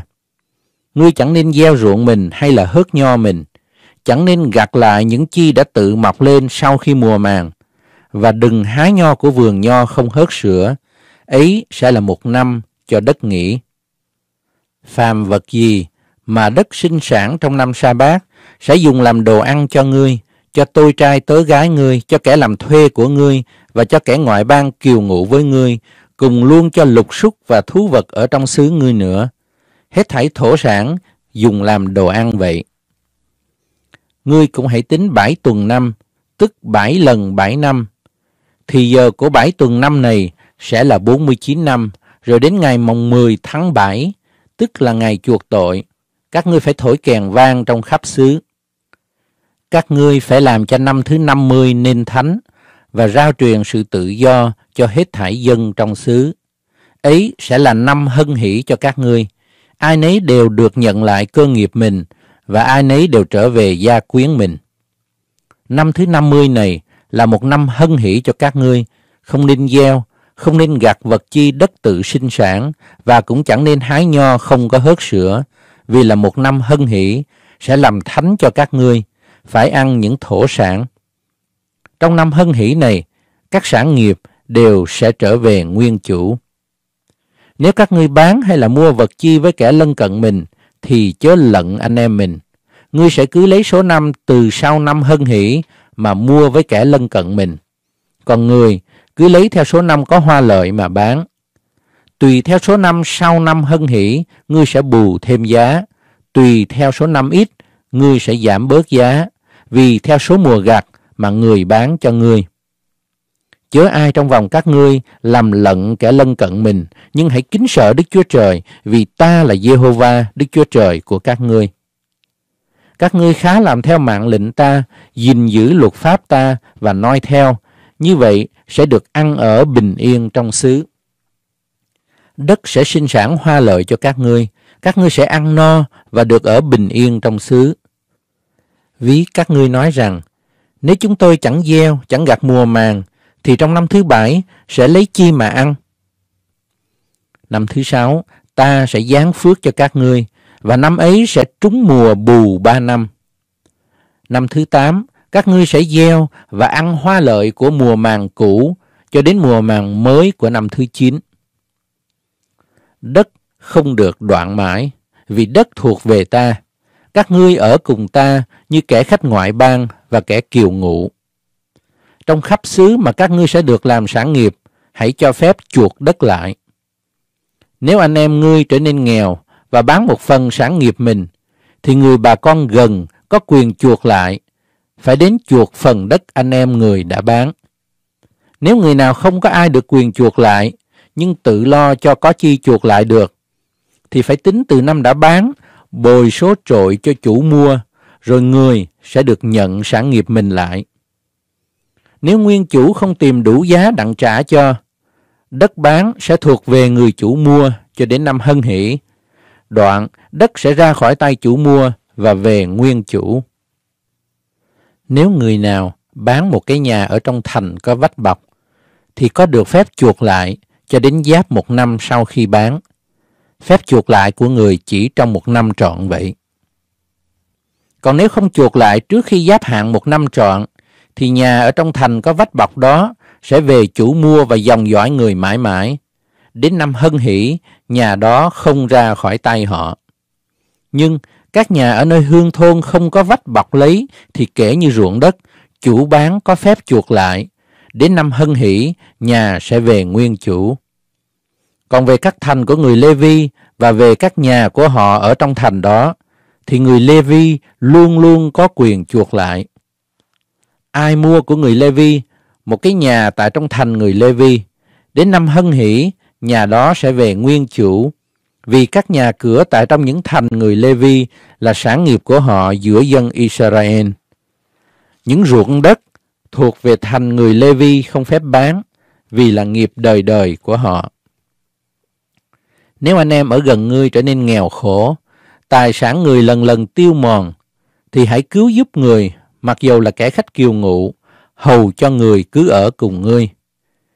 Chớ ăn lời, cũng đừng lấy lợi người, nhưng hãy kính sợ Đức Chúa Trời mình, thì anh em ngươi sẽ ở cùng ngươi.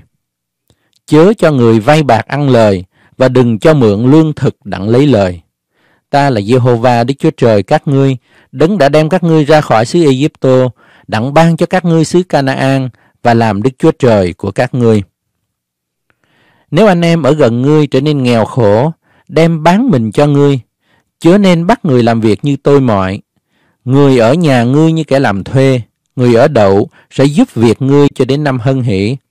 Đoạn, người và con cái người thôi ở nhà ngươi, trở về nhà và nhận lấy sản nghiệp của tổ phụ mình. Vì ấy là những tôi tớ ta mà ta đã đem ra khỏi xứ Egypto, không nên bán họ như người ta bán tôi mọi. Ngươi chớ lấn lướt mà khắc bạc họ, nhưng phải kính sợ Đức Chúa Trời ngươi. Còn tôi trai tớ gái thuộc về ngươi, thì sẽ do các dân chung quanh mình mà ra.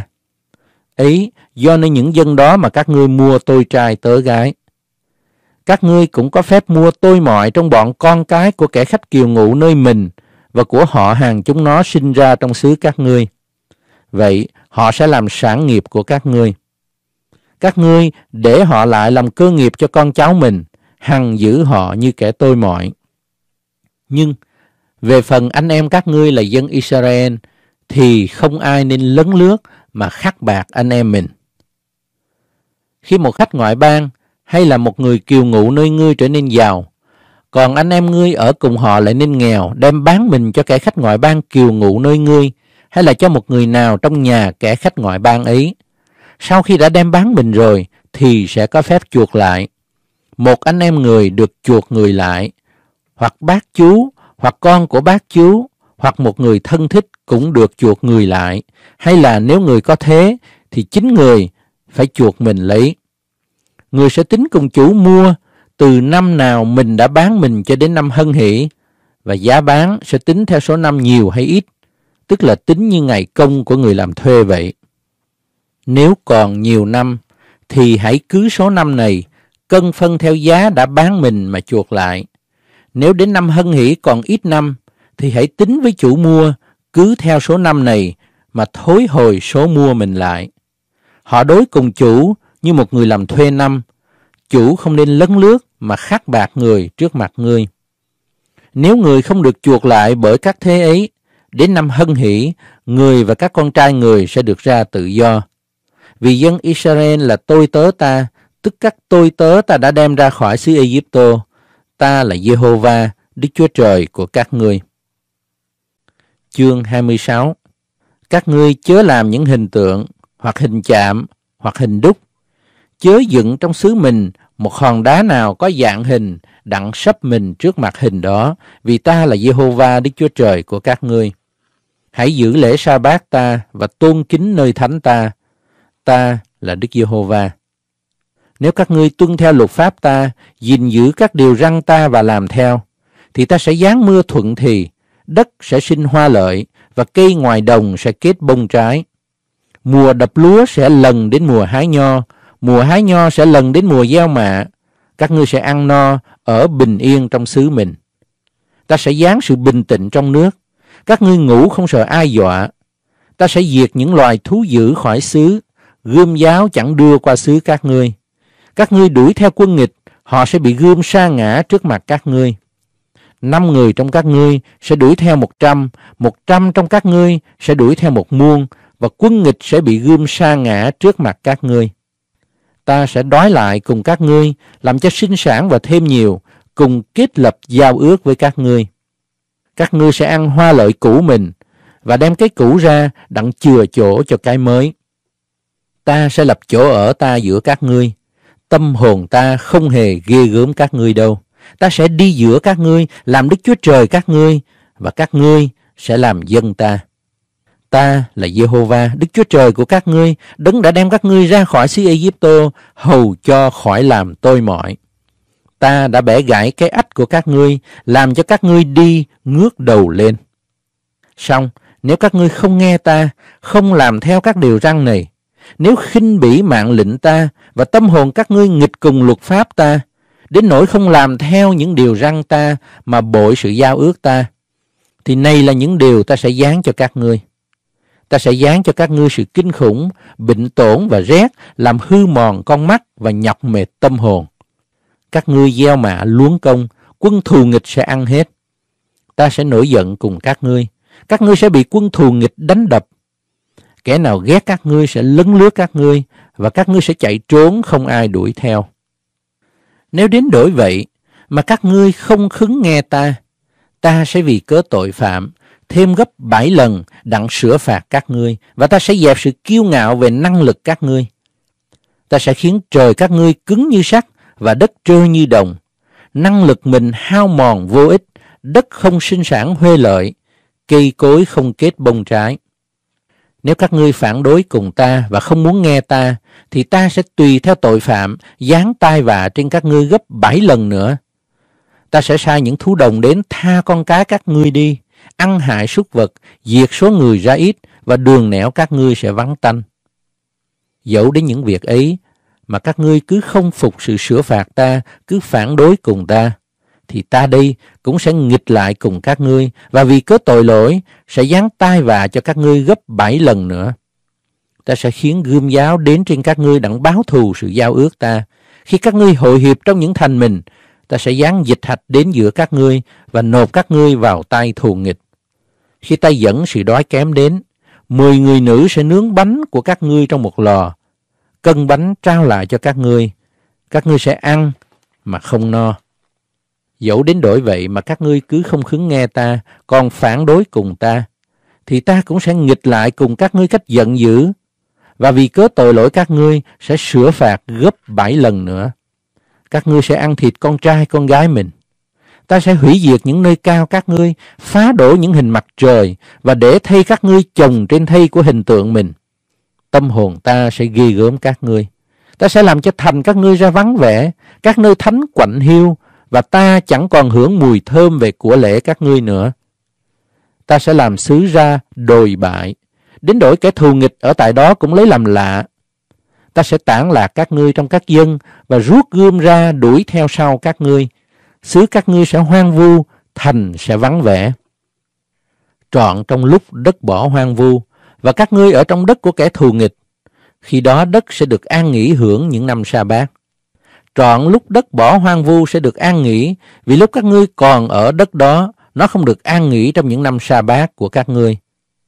Còn ai trong các ngươi sống sót lại, ta sẽ làm cho họ nhát gan trong xứ của thù nghịch mình.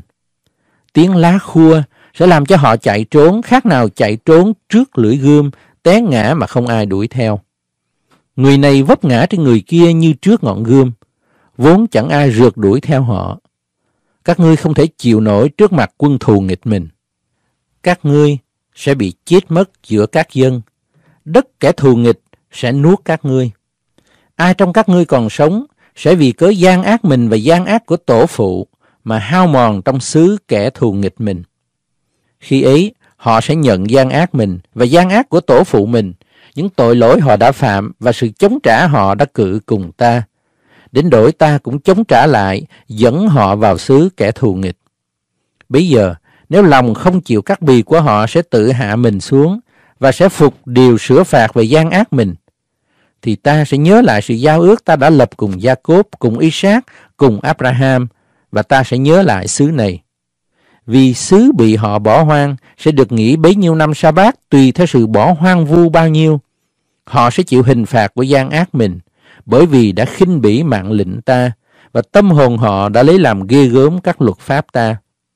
Dẫu vậy, đang khi họ bị ở trong xứ kẻ thù nghịch mình, ta cũng chẳng bỏ họ đâu, chẳng ghê gớm họ đến phải hao mòn hết và chẳng bội sự giao ước ta lập cùng họ đâu, vì ta là Jehovah Đức Chúa Trời của họ. Ta vì họ sẽ nhớ lại sự giao ước đã lập cùng tổ phụ họ mà ta đã đem ra khỏi xứ Egypto trước mặt các dân, đặng làm Đức Chúa Trời của họ. Ta là Đức Giê-hô-va. Đó là các điều lệ, mạng lệnh và luật pháp mà Đức Giê-hô-va nhờ Môi-se lập ra giữa Ngài cùng dân Israel tại trên núi Sinai. Chương 27 Đức Giê-hô-va phán cùng Môi-se rằng, Hãy truyền cho dân Israel rằng, khi nào có ai dùng loài người mà khấn nguyện, thì ngươi hãy định giá cho. Giá đó thuộc về Đức Giê-hô-va.